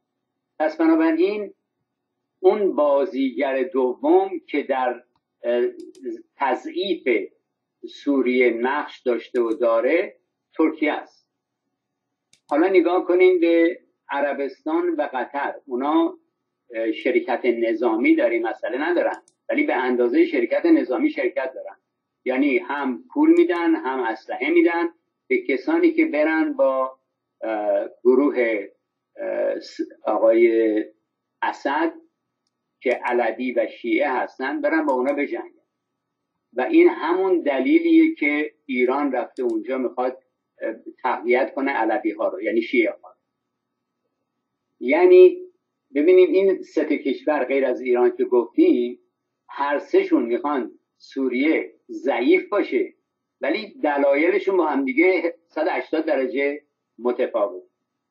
خب این خود ما هم چیزی تو ایران نداریم که کسی بلندی های گولان دست دادیم و نه با ترکیه یا عربستان. ولی البته مشکلات دیگه هست دارن در حال حاضر. بسیار ممنونم. اگر لطف کنید راجع به اون نامه سلطنت طلبان یا نیو یر رزولوشن نیو یر رزولوشن شما چیه؟ بفرمایید. در دیدار گذشته مطالبی رو که طی سال پیش با همدیگه مورد بررسی قرار داده بودیم اونا رو یه مروری کردیم یه جنبندی کردیم. قصدم این بود که امروز در مورد این صحبت کنیم که توی آمریکا یه رسمی هست که بهش میگن نوی رزولوشن یا عهد و پیمان برای سال نو. می‌خواستم درباره اون یه گفتگوی کوتاهی داشته باشیم. اکثر مردم در این موقع سال یعنی از اواخر سال تا اوایل سال جدید با خودشون یه قراردادهایی می‌ذارن یه عهد و پیمانی میبندن.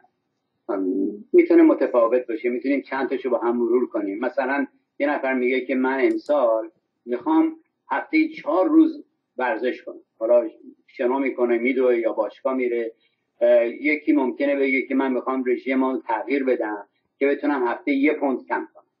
یکی دیگه میگه هر چک که می‌گیرم 20 دلارشو می‌خوام بذارم به پسنداز یه نفر ممکنه بگه که من می‌خوام کمتر تلویزیون تماشا کنم و بیشتر کتاب بخونم. کتاب خدا سالاری رو. ممکنه کسی بخواد تغییر رفتاری بده. بگه من از این به بعد کمتر ایراد می‌گیرم و بدگویی نمی‌کنم. حالا برای اینکه این عهد و پیمان سال نو از جنبه حرف بیاد بیرون و یه خود تعهد برقرار بشه میان اینو به خانوادهشون یعنی اون کسی که این قرار می‌ذاره میاد به خانوادهش میگه به دوستاش میگه به همکاراش میگه که بیان این عهد و پیمان براش تعهد به وجود میاره یعنی یه خود جدیتر میره دنبالش که چیکار بکنه. و اما من فکرم اینه که این نیو ایرز رزولوشن این عهد و پیمان سال نو می‌تونه برای ما ایرانی ها مفید باشه. با در نظر گرفتن اوضاع واقعا دردناک همیهنانمون در درون کشور. یعنی با چی روبرو هستن؟ فساد گسترده حکومت حکومتی که خودکامه و مذهبی میگه من نماینده خدام اقتصاد ورشکسته فقر و درماندگی مردم و بویژه اینکه الان انزوا تحریم و احتمال وقوع جنگ و تهاجم نظامی در روی زمینه یعنی هست موجوده. از طرف دیگه همون چیزی که اشاره کردم یه عده آدمای عامل بیگانم دارن سینه می‌زنن برای تجزیه ایران که شده قوز بالا بود در چنین شرایطی من پیشنهادم اینه که این عهد و پیمان برای اونایی که نمی‌توانند نسبت به این موضوع بی تفاوت باشن باید عهد و پیمانی باشه که با عهد پیمان اشخاصی که فقط برای خودشون این پیمان می‌ذارن متفاوت باشه. من یه پیشنهاداتی نوشتم می‌خوام اینو با بینندگانتون در میون بذارم. نخست بعد باور داشته باشیم که صاحبان اصلی ایران هستیم. باید پیمان ببندیم که میهنمون خونمون رو دوست داشته باشیم. تعهد کنیم که پندار نیک گفتار نیک کردار نیک که اوج انسانیته اینو بکنیم الگوی زندگیمون. پیمان ببندیم که با اتکا به شعور و آگاهی و شناخت با مسائل برخورد کنیم. یعنی اون نصیحت مولانا که میگه در جهان تنها یک فضیلت وجود دارد و آن آگاهی است و تنها یک گناه و آن جهل است از اون پند بهرهگیری کنیم. تعهد کنیم که موقتا شعار توخالی هنر نزد ایرانیان است و بس و کنار بگذاریم. خودمون گول نزنیم و علکی خوش نباشیم. در این مورد محمد جمالزاده می نویسه که باید دید چطور شد که کار ما ایرانیان که خود را عموما باهوش و زرنگ و رند می‌دانیم. و معتقدیم که کلاه بر سر فلک می‌گذاریم. کارمان به جایی رسیده که امروز در دنیا کمتر مملکتی پیدا می شود که به قدر ایران آدم گرسنه و درمانده داشته باشد. اوضاع میهنمون به خودی خود تغییر نخواهد کرد. بنابراین تعهد کنیم که در تعیین سرنوشت خودمون شرکت پویا داشته باشیم. نجات ایران رو از دیگران انتظار نداشته باشیم. پیمان ببندیم که به اتکاب زبان زده تجربه را تجربه کردن خطاست. به دنبال دوباره سازی سلطنت که باعث عقب ماندگی کشور درماندگی مردم و بیماری فرهنگمون بوده و شده دنبال اون نباشیم. تعهد کنیم از اشخاصی که پشت سر دیگران بدگویی می‌کنن و سمپاچی می‌کنن. دوری کنیم که این بیاعتمادی رو گسترش ندیم پیمان ببندیم که بدون بررسی و مطالعه مطالب هیچ ایمیل یا پستی رو که در شبکه های اجتماعی برامون می‌ذارن پست نکنیم اینو توضیح نکنیم یعنی شرکت نکنیم در شایع پراکنی. تعهد کنیم که حقوق دیگران برامون ارزشمند باشه و حق دیگران رو رعایت کنیم. پیمان ببندید که قبل از براندازی دنبال یک برنامه جایگزینی باشید یعنی قبل از اینکه منا رو میدوزیم اون چاله رو بکنیم. بینندگانتون می‌تونن هر چیزی که دلشون می‌خواد و باور دارن به این لیست اضافه کنن. سال نو میلادی فرخونده به سلامتی ستن شرف رفیق وطن. سپاس گذارم بسیار ممنونم. امیدوارم که دوستان این کار رو انجام بدن و اون چیزی رو که شما گفتید برای من خیلی جالب بود که این نیو رزولوشن رو با فامیل و دوست در میون می‌ذارن که حقیقتا جلو اونها خودشون مجبور بشن این کار رو انجام بدن. و اما نامه سلطنت طلبان. می‌بینیم که در یکی دو هفته اخیر اینها بیشتر فعال شدن ولی متاسفانه خودشون هم نمی‌دونن چی می‌خوان و چی میگن. این میگه که رضا شاه دوم آقای رضا پهلویه. اون یکی میگه که من نمی‌دونم می‌خوام چی کار کنم مردم باید به من بگن. حالا این نامه ای که شما میگید نامه سلطنت طلبان. من نمی‌دونم کدوم یکی بوده و از کدام منبعی. چون الان هر کسی میاد می‌نویسه متاسفانه بعضی هاشون حتی اسمشون رو هم زیر نامه نمی‌ذارن. ما با شما هستیم. شما بفرمایید زندن دوستی نوشته که بله با کشورها می‌شود. ولی آیا با دیوانه ای مثل ترامپ هم می‌شود؟ به اصطلاح روابط خوبی داشت. ولی خبر خوب اینه که از دیروز یه مقداری ترامپ در شرایط بدتری داره زندگی می‌کنه و به سر می‌بره. حتی اون رامنی که این بهش لطف کرد و بعد می‌خواست جزو ادمینستریشنش باشه و اینها. حتی بعد رفت نامزدی سنا رو به اصطلاح برای شکم فعالیت کرد و اینها. اولین کاری که کرد یه روز قبل از اینکه اصلا مجلس برقرار بشه آمد یه مقاله رو در واشنگتن پست نوشت که سر و صدای زیادی رو انداخته. بلا فاصله هم اینهایی که دیروز آمدن در مجلس چندین به اصطلاح درخواست نوشتن که از جمله تکس ترامپ باید نشون داده بشه و بالاخره گویا می‌خوان یه قانونی هم بذارن که هر کی می‌خواد رئیس جمهور بشه اول بیاد ده سال ورقای مالیاتیش رو نشون بده که این به نظر من خیلی کار خوبیه. اونایی که به اصطلاح ریگی به کفششون هست همون اول خودشون تصمیم می‌گیرن که نیان. من ساکت میشم. شما راجع به سلطنت طلبان و برنامه هاشون نامه هاشون بفرمایید که این دوستان چی فکر می‌کنن واقعا؟ بفرمایید. نامه, نامه جالبیه و یک عده زیادی زیرشو امضا کردن. یعنی حالا دیگه اسما حقیقی غیر حقیقی با خودشونه. و این نامه خطاب به آقای ترامپ. که من مجبورم گاهی این عینکه رو بزنم که بتونم نامه رو اشتباهی یا چیزی از توش نگم.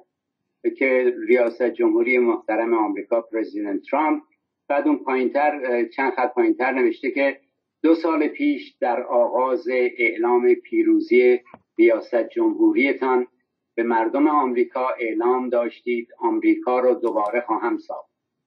مردم ایران نیز با تلاش و پیوستن به نیروهای بپاخواسته خیزش علیه رژیم اشغالی دینی در ایران را پیریزی کرد. یعنی واقعا این یک نوع قلب حقایق و جعل واقعیت هاست. یعنی دارن میگن که با ریاست جمهوری جناب ترامپ اعتراضات و مبارزات ملت ایران هم آغاز شد و پایینترش میگن در سال 1979 هنگامی که خمینی و هوادارانش ایران را اشغال کردن و بعد درباره دولت اسلامی صحبت می‌کنن این باز دوباره به نظر من یک نوع نمی‌دونم حالا چی برای بزنیم یک دینایل می‌خوان انکار حقایق. یعنی این نوشتار کوچکترین اشاره به انقلاب مردمی ملت ایران فرار شاه و سرنگونی سلطنت نمی‌کنه. وانمود می‌کنه که ملاهایی که وارث محمد رضا بودن یه مرتبه بدون مقدمه وارد شدن و ایران رو اشغال کردن. در ادامه میگه که خیشاوندان نزدیک خود یعنی داره راجع به ملاها صحبت می‌کنه. و هواداران وفادار به رژیم در دانشگاه های برتر و رسانه های همگانی و اصلی به عنوان صاحبان و مدیران شرکت های بزرگ با درآمدهای هنگفت در دستور کار رژیم قرار داده این حرفشون کاملا درسته ولی این دقیقا همون کاریه که شاه و دربار هزار فامیل کردن. همه هم... دست خودشون. ترامپ هم اینجا همین کار کرده الان. براو معمولا آدم های خودشیفته و دیکتاتور یه بادی کارشون همین. بعد در ادامه میگه که ما می‌دانیم دلیل این که نتوانسته ایم در مبارزه با رژیم اسلامی موفق شدیم نبود یک سازمان مالی منسجم برای حمایت و تأمین مالی این حرکت بود در اینجا می‌بینیم که آروم آروم دستشون رو رو می‌کنن. و کاسه گدایی از زیر آستینشون داره خودنمایی می‌کنه. و در ادامه میگن که ایرانیان از تیف های پادشاهی خواه جمهوری خواه پیوسته با شاهزاده رضا پهلوی اعلام همبستگی کردند خب می‌دونیم که فرصت طلبانی هستن که همواره هم می‌خوان از توبره بخورن هم از آخر می‌دونیم که در میون این مدعیان روشنفکری و این کمدانان چپ و راست که از انقلاب سر خوردن و عذرخواهی می‌کنن اظهار نظامت می‌کنن مگه ما غلط کردیم؟ کسانی پیدا میشون که برای مطرح بودن و منافع شخصیشون آمادن که هم برای امام حسین سینه بزنن هم برای شاه. ولی چند تن از این اشخاص اگر مثلا می‌خوام اگه چند تا از این اشخاص بگن ما کمونیست هستیم یا بگن ما جمهوری خواه هستیم یا حتی باشن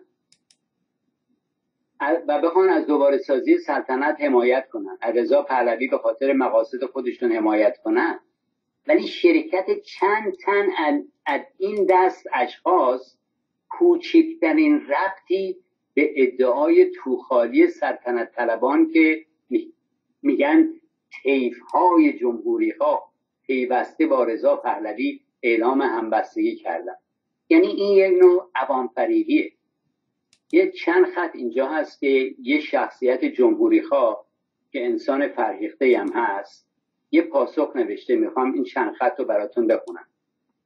ایشون میگه که این دروغ بزرگ در حالی است که حتی نام یک فرد شناخته شده جمهوری خواه را در این نامه سرگشاده نمییابید این گونه دروغ پردازی ها و سوء استفاده های غیر اخلاقی تنها در سطح پرنسیپ یعنی اخلاق و رفتار گروه های سلطنت طلب را به نمایش می‌گذارد در شرایطی که هیچ جریان جمهوری خواه تا کنون حاضر به چنین ائتلافی نشده شاهد چنین ادعای کذبی برای تبدیل آنان به سیاه لشکر رضا پهلوی هستیم.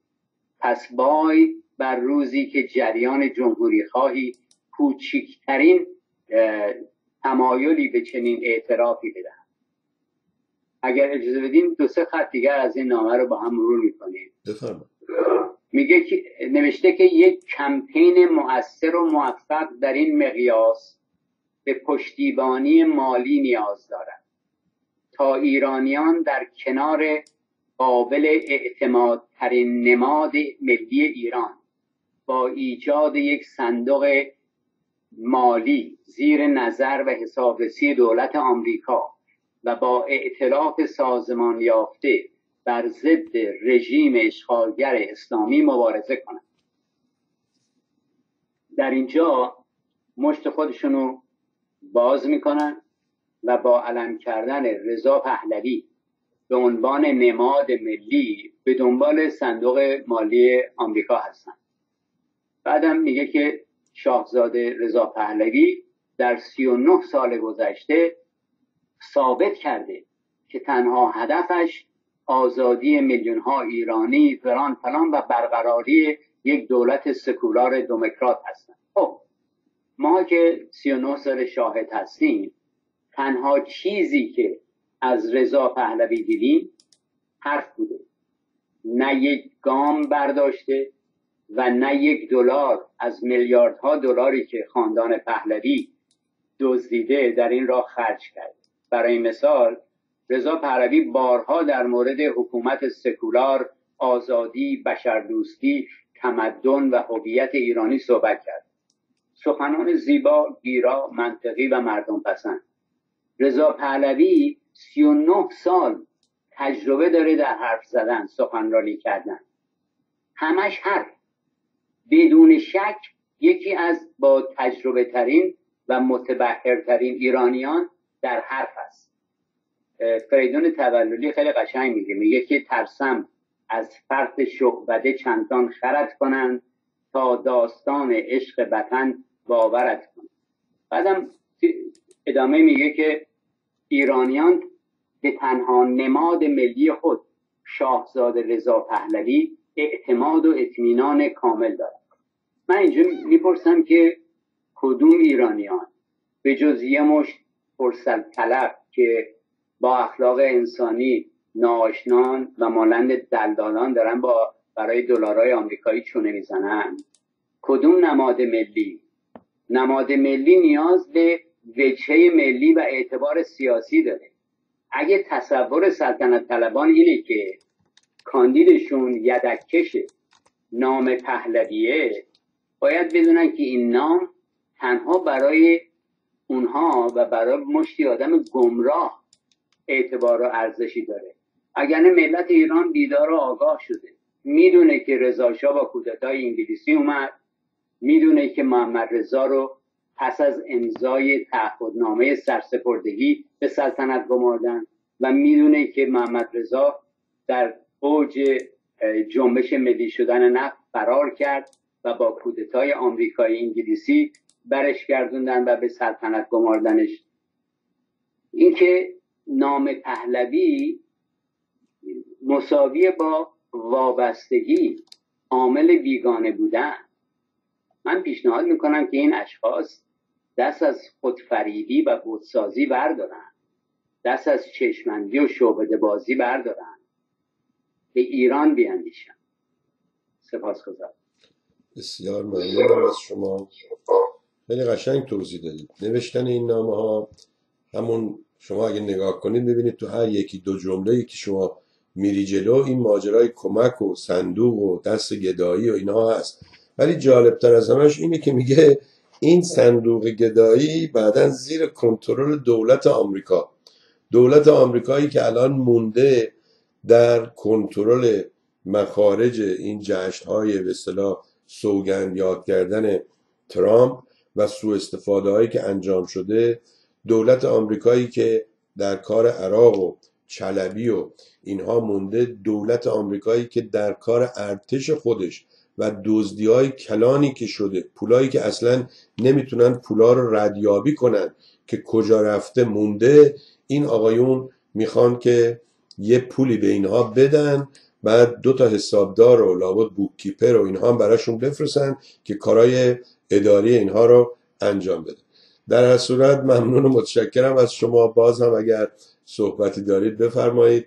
من کتاب شما را نشون دادم خدا سالاری. و درماندگی. دوستان عزیز وبسایت دوستون آقای لادن و دوستانشون هست. اندیشکده. اون هی آخر رو نمی‌خواد بنویسید. اندی... می‌بینید الان. اندیشکده دات نت حتما اونجا سر بزنید. روی فیسبوک هم فعال هستن. باشون در تماس باشید. ضمن که شماره تلفن و ایمیلش مردم تیوی هم اینجا گذاشتم. می‌تونید از این طریق هم تماس بگیرید. من ساکت میشم. آقای لادن شما بفرمایید. حرفی ندارم. به امید اینکه آخر هفته خوبی داشته باشین و همینطور بینندگانتون و همه هنان خیلی ممنون. حالا امیدوارم شما نیو رزولوشنتون این باشه که به ما هم بیشتر سر بزنید و بیشتر وقت بدید به بینندگان تلویزیون مردم. با کمال میل. ممنونم از شما. بهترین ها رو براتون آرزو می‌کنم. سپاسگزارم. همین. خیلی ممنون.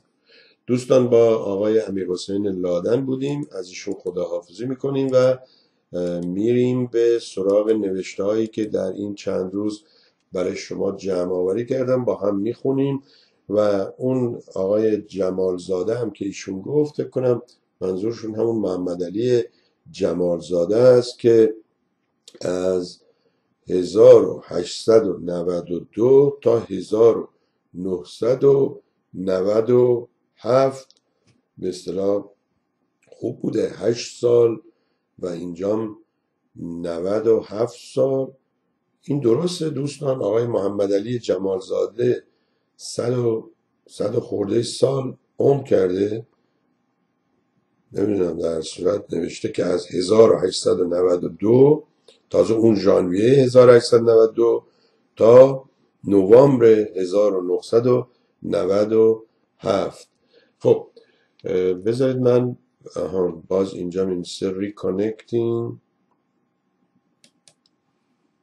خود این زنگ می‌زنه. اسکایپ هنوز زنگ می‌زنه دنبال آقای کوروش زعیم هست. و بنده خدا اونجا الان دیگه ساعت دوازده شب سه و نیم با هشت و نیم میشه دوازده. اینم از این اجازه بدیم من تصویر اینجا رو درست کنم. آدرس رو به شما بدیم info مردم و این رو هم اینا رو عوض کنیم برداریم. یک لحظه. ببخشید دیگه اینجا دست تنها هستیم و خودمون باید همه این کارا رو انجام بدیم. اینه که بعض وقتا وسط برنامه می‌بینیم که این سه و این هم چهار و این هم پنج. و اینجا بنویسیم که شماها هم می‌تونید هم نظر بدید هم برنامه تماشا کنید و الا آخر. خب بذارید ببینم براتون چی گذاشتم اینجا. یک ویدیوی دیروز به دست من رسید از یه آقای تیمساری در ایران که اسمش هست محمد رضا سلواتی حتما این ویدیو رو ببینید دوستان بعد از اون آقای عباس دوران و دیگران که رشادت ها به خرج دادن به اصطلاح شجاعت ها به خرج دادن و اینها افراد دیگه هم بودن. یکیش این افسر نیروی هواییه که بعد از چند تا به اصطلاح حمله به خاک عراق هواپیماش بهش اصابت می‌کنن. چی میگن؟ یه, لحظه اجازه بدید اینم باید نشون بدادم. دو اون کمرای دو رو نشون میده. دیگه اونجا چیزی نیست. فکر کنم درست شد. بله.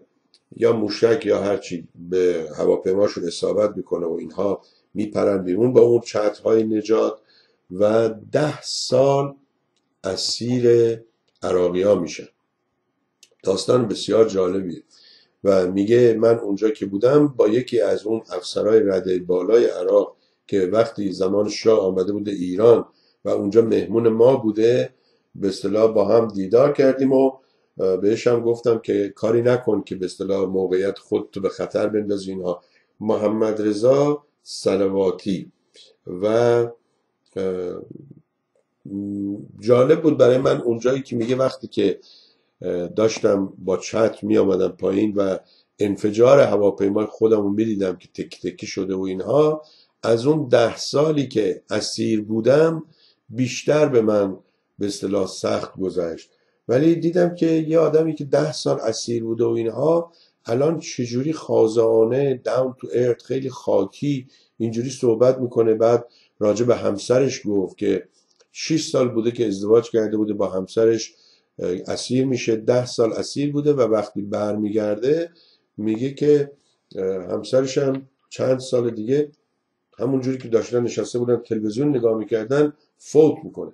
و البته خب ای کاش که همه اینجوری بدون به اصطلاح بیمارستان و فلان فوت کنن ولی دوستان یاد بگیرید اگر کسی توی خانوادهمون به اصطلاح سکته مغزی نه سکته قلبی اگر چیز شد بلد باشیم اون سی پی آر. الان دیگه میگن شما این نفس دادن و اینها هم نه فقط همون دست رو بذارین روی سینه و محکم فشار بدین که این قلب دوباره به کار بیفته. و میگن خیلی کمک موثریه. اگر همون لحظات اول شما بتونید ولی بنده خدا میگه من زنگ زدم 6 دقیقه بعد آمدند و اینها و همسرش کنار دستش فوت شده. داستان بسیار جالبیه. حتما برید نگاه کنید و ببینید چه کسانی بودن که رفتن جنگیدن و حالا چه کسانی به نام آقازاده ها به نام افرادی که با اینها رابطه دارن این خصوصی سازی ها این سکه دزدی ها نمی‌دونم دلار دزدی ها دلار بخر به این قیمت از بانک برو بیرون بفروش به این قیمت. یه روزه یه دفعه شما میلیاردر میشی فردا سر در میاری. از کانادا و اینها هستن هنوز افرادی که به اصطلاح اونجوری خدمت کردن. و اما یه دوستی از ایران زنگ زده اجازه بدید من صداشون پخش کنم و تشکر کنم چون این بنده خدا میگه که ما امکان کمک کردن نداریم. والا ما هم نمی‌خوام شما که تو ایران هستید با این اوضاع و گرونی و اینها کمک کنید. ولی ای کاش وقتی ما پیام شما رو می‌ذاریم افراد دیگه ای که این برنامه ها رو سالها هست می‌بینن حمایت کنن تا این سکوی آزادی این بلنگو برای دیگران هم بمونه. حدود یک دقیقه و سی و پنج ثانیه یک دقیقه و نیم هست. بفرمایید.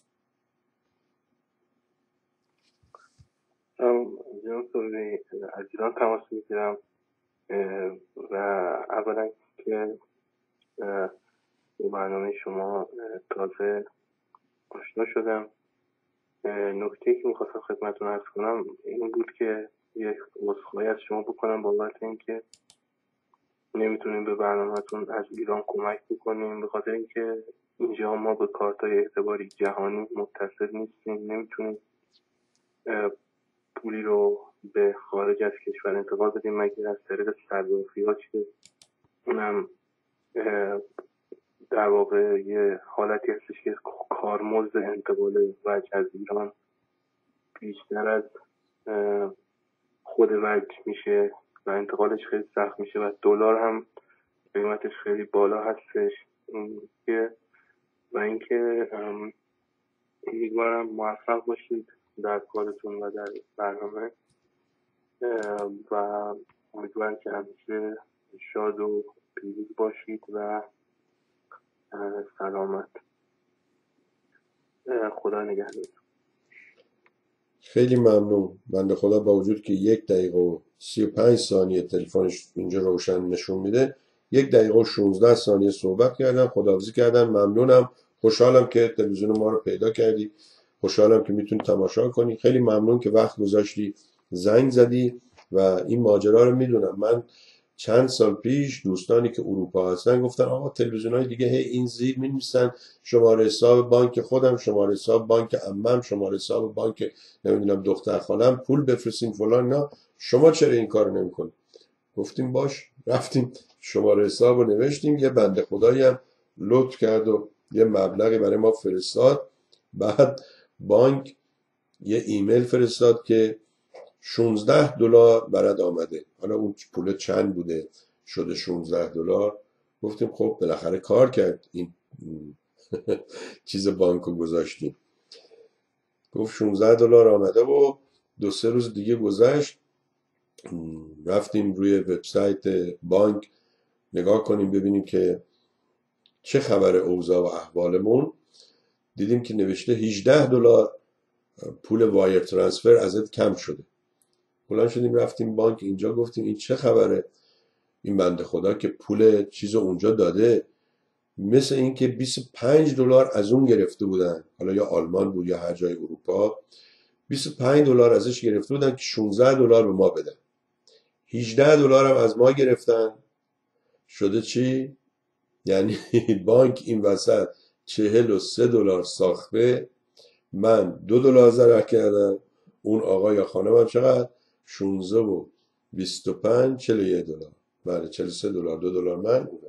اینم ماجرا که ما میگیم این بانک ها از مله های یا از دوزهای سر گردنه. راستی چرا می‌گفتن ملا خور می‌گفتن مواظب باش ملا خور نشه و ما داشتیم دزد سر گردنه ولی ملا خورم زیاد استفاده کرد خب اینم از این ماجرا و تشکر از این دوستمون از ایران.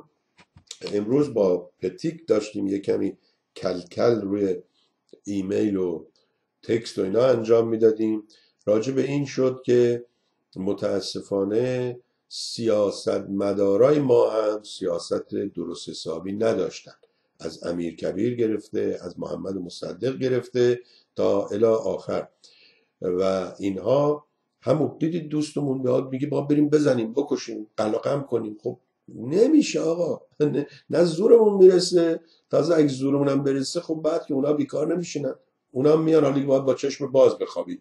همینجوری بشینی کی اونا میان به تو حمله کنن. تازه اگه بری و پیروز برگردی.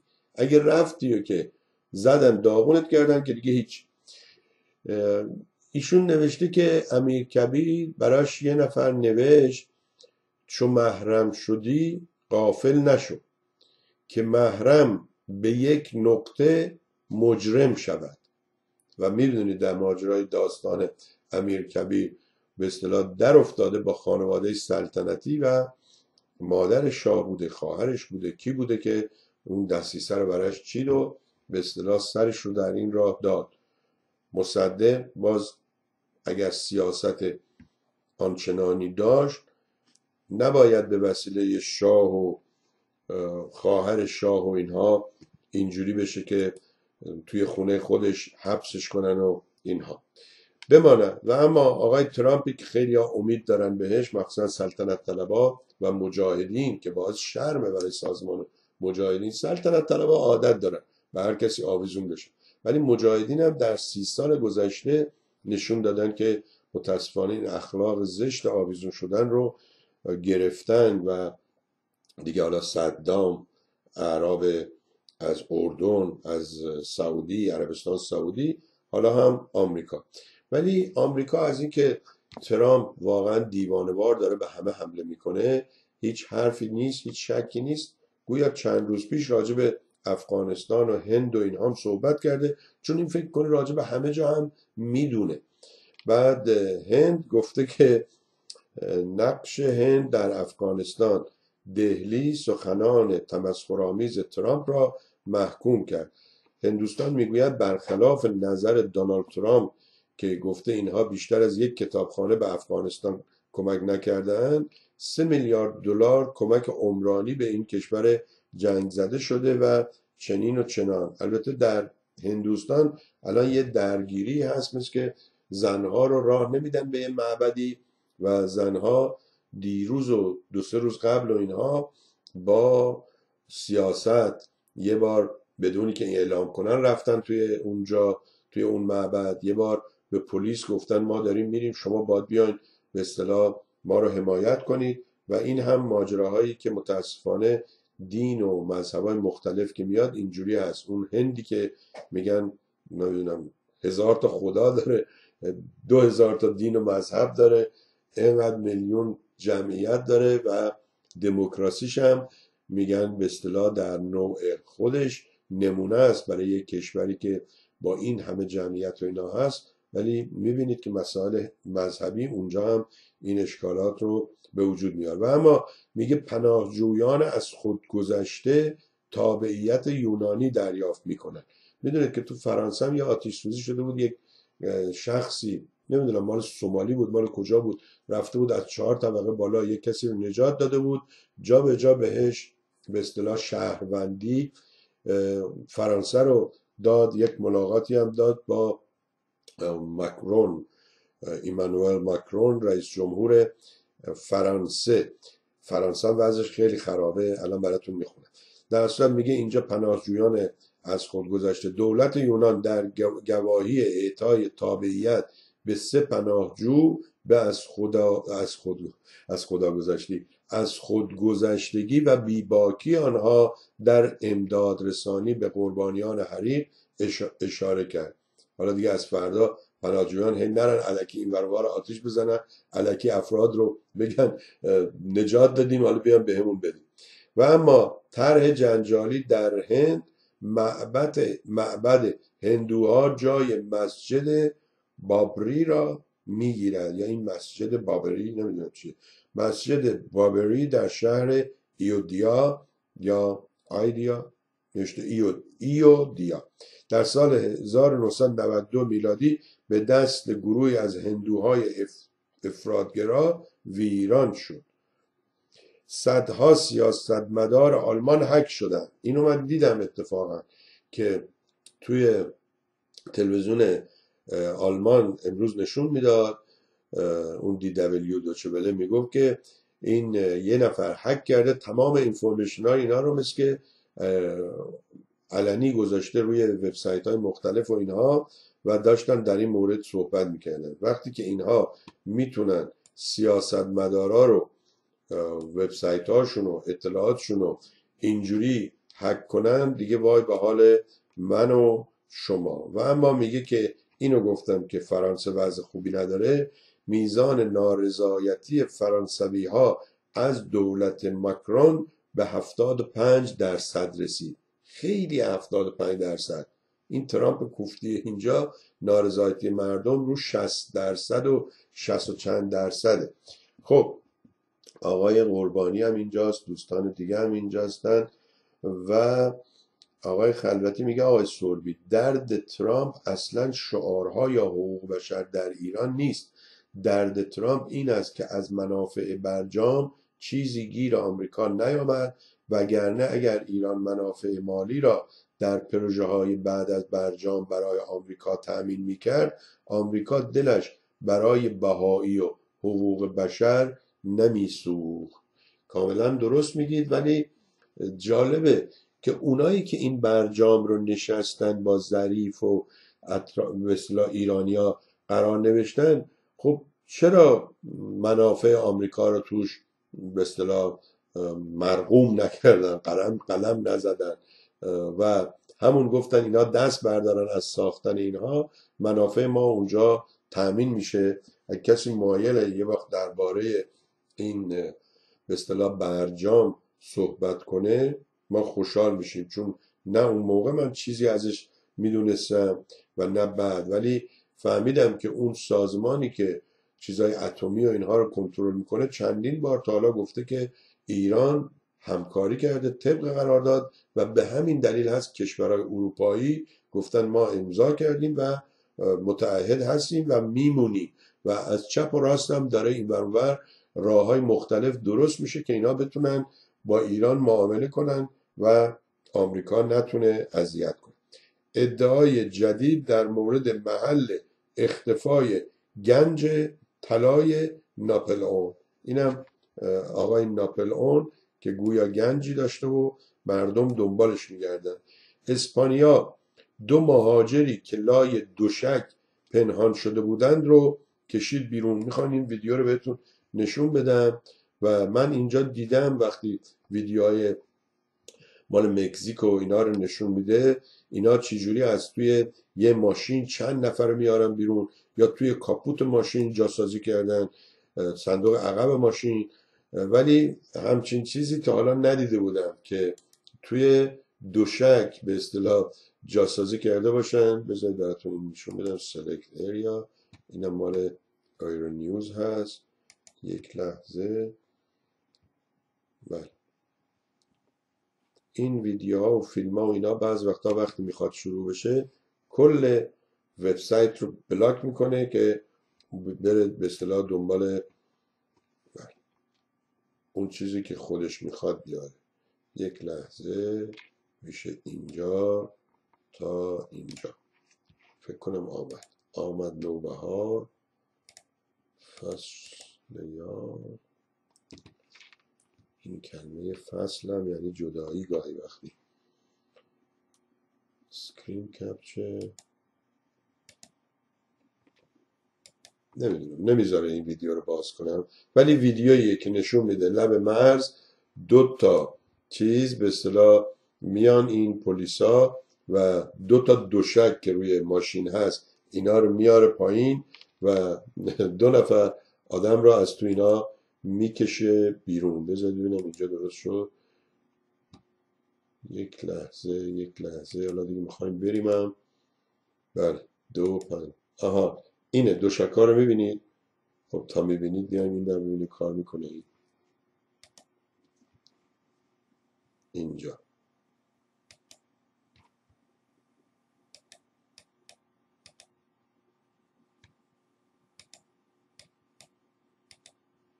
رفت دوباره. کمرای سه. اینه. نگاه کنید دو شکار میارن پایین. ملیلا یا بله. ملیلا اسپان اسپین. بنده خودم حالا فکر کرده لابد رسیده به مقصد. بله. اینم یکی دیگهش بعد نشون میده که اینا توی تانک بنزین توی ما میگیم باک بنزین آمریکایی ها میگن سه دواز... سی دوازده این روز آخر سالم بوده. خب دوستان عزیز ساعت اینجا هست سه و پنجاه و سه دقیقه و اجازه بدید که از شما خداحافظی کنیم. دوشنبه با شما خواهیم بود. ساعت چهار بعد از ظهر برنامه حسن ارشاد آقای حسن ارشاد ویدیوی شماره 207 ایشون رو براتون نشون میدیم و ما رو در فیسبوک می‌تونید ببینید در یوتیوب می‌تونید ببینید و از روز اولی که اولین آجر این ساختمون مردم تیوی رو گذاشتیم گفتیم شما هم می‌تونید بیان صحبت کنید. مخصوصا اگر مخالف ما باشید بیشتر اینجا منتظرتون هستیم. خب از اینکه با ما بودید ممنون و متشکرم روز و روزگار بر شما خوش بله. این هم از اینجا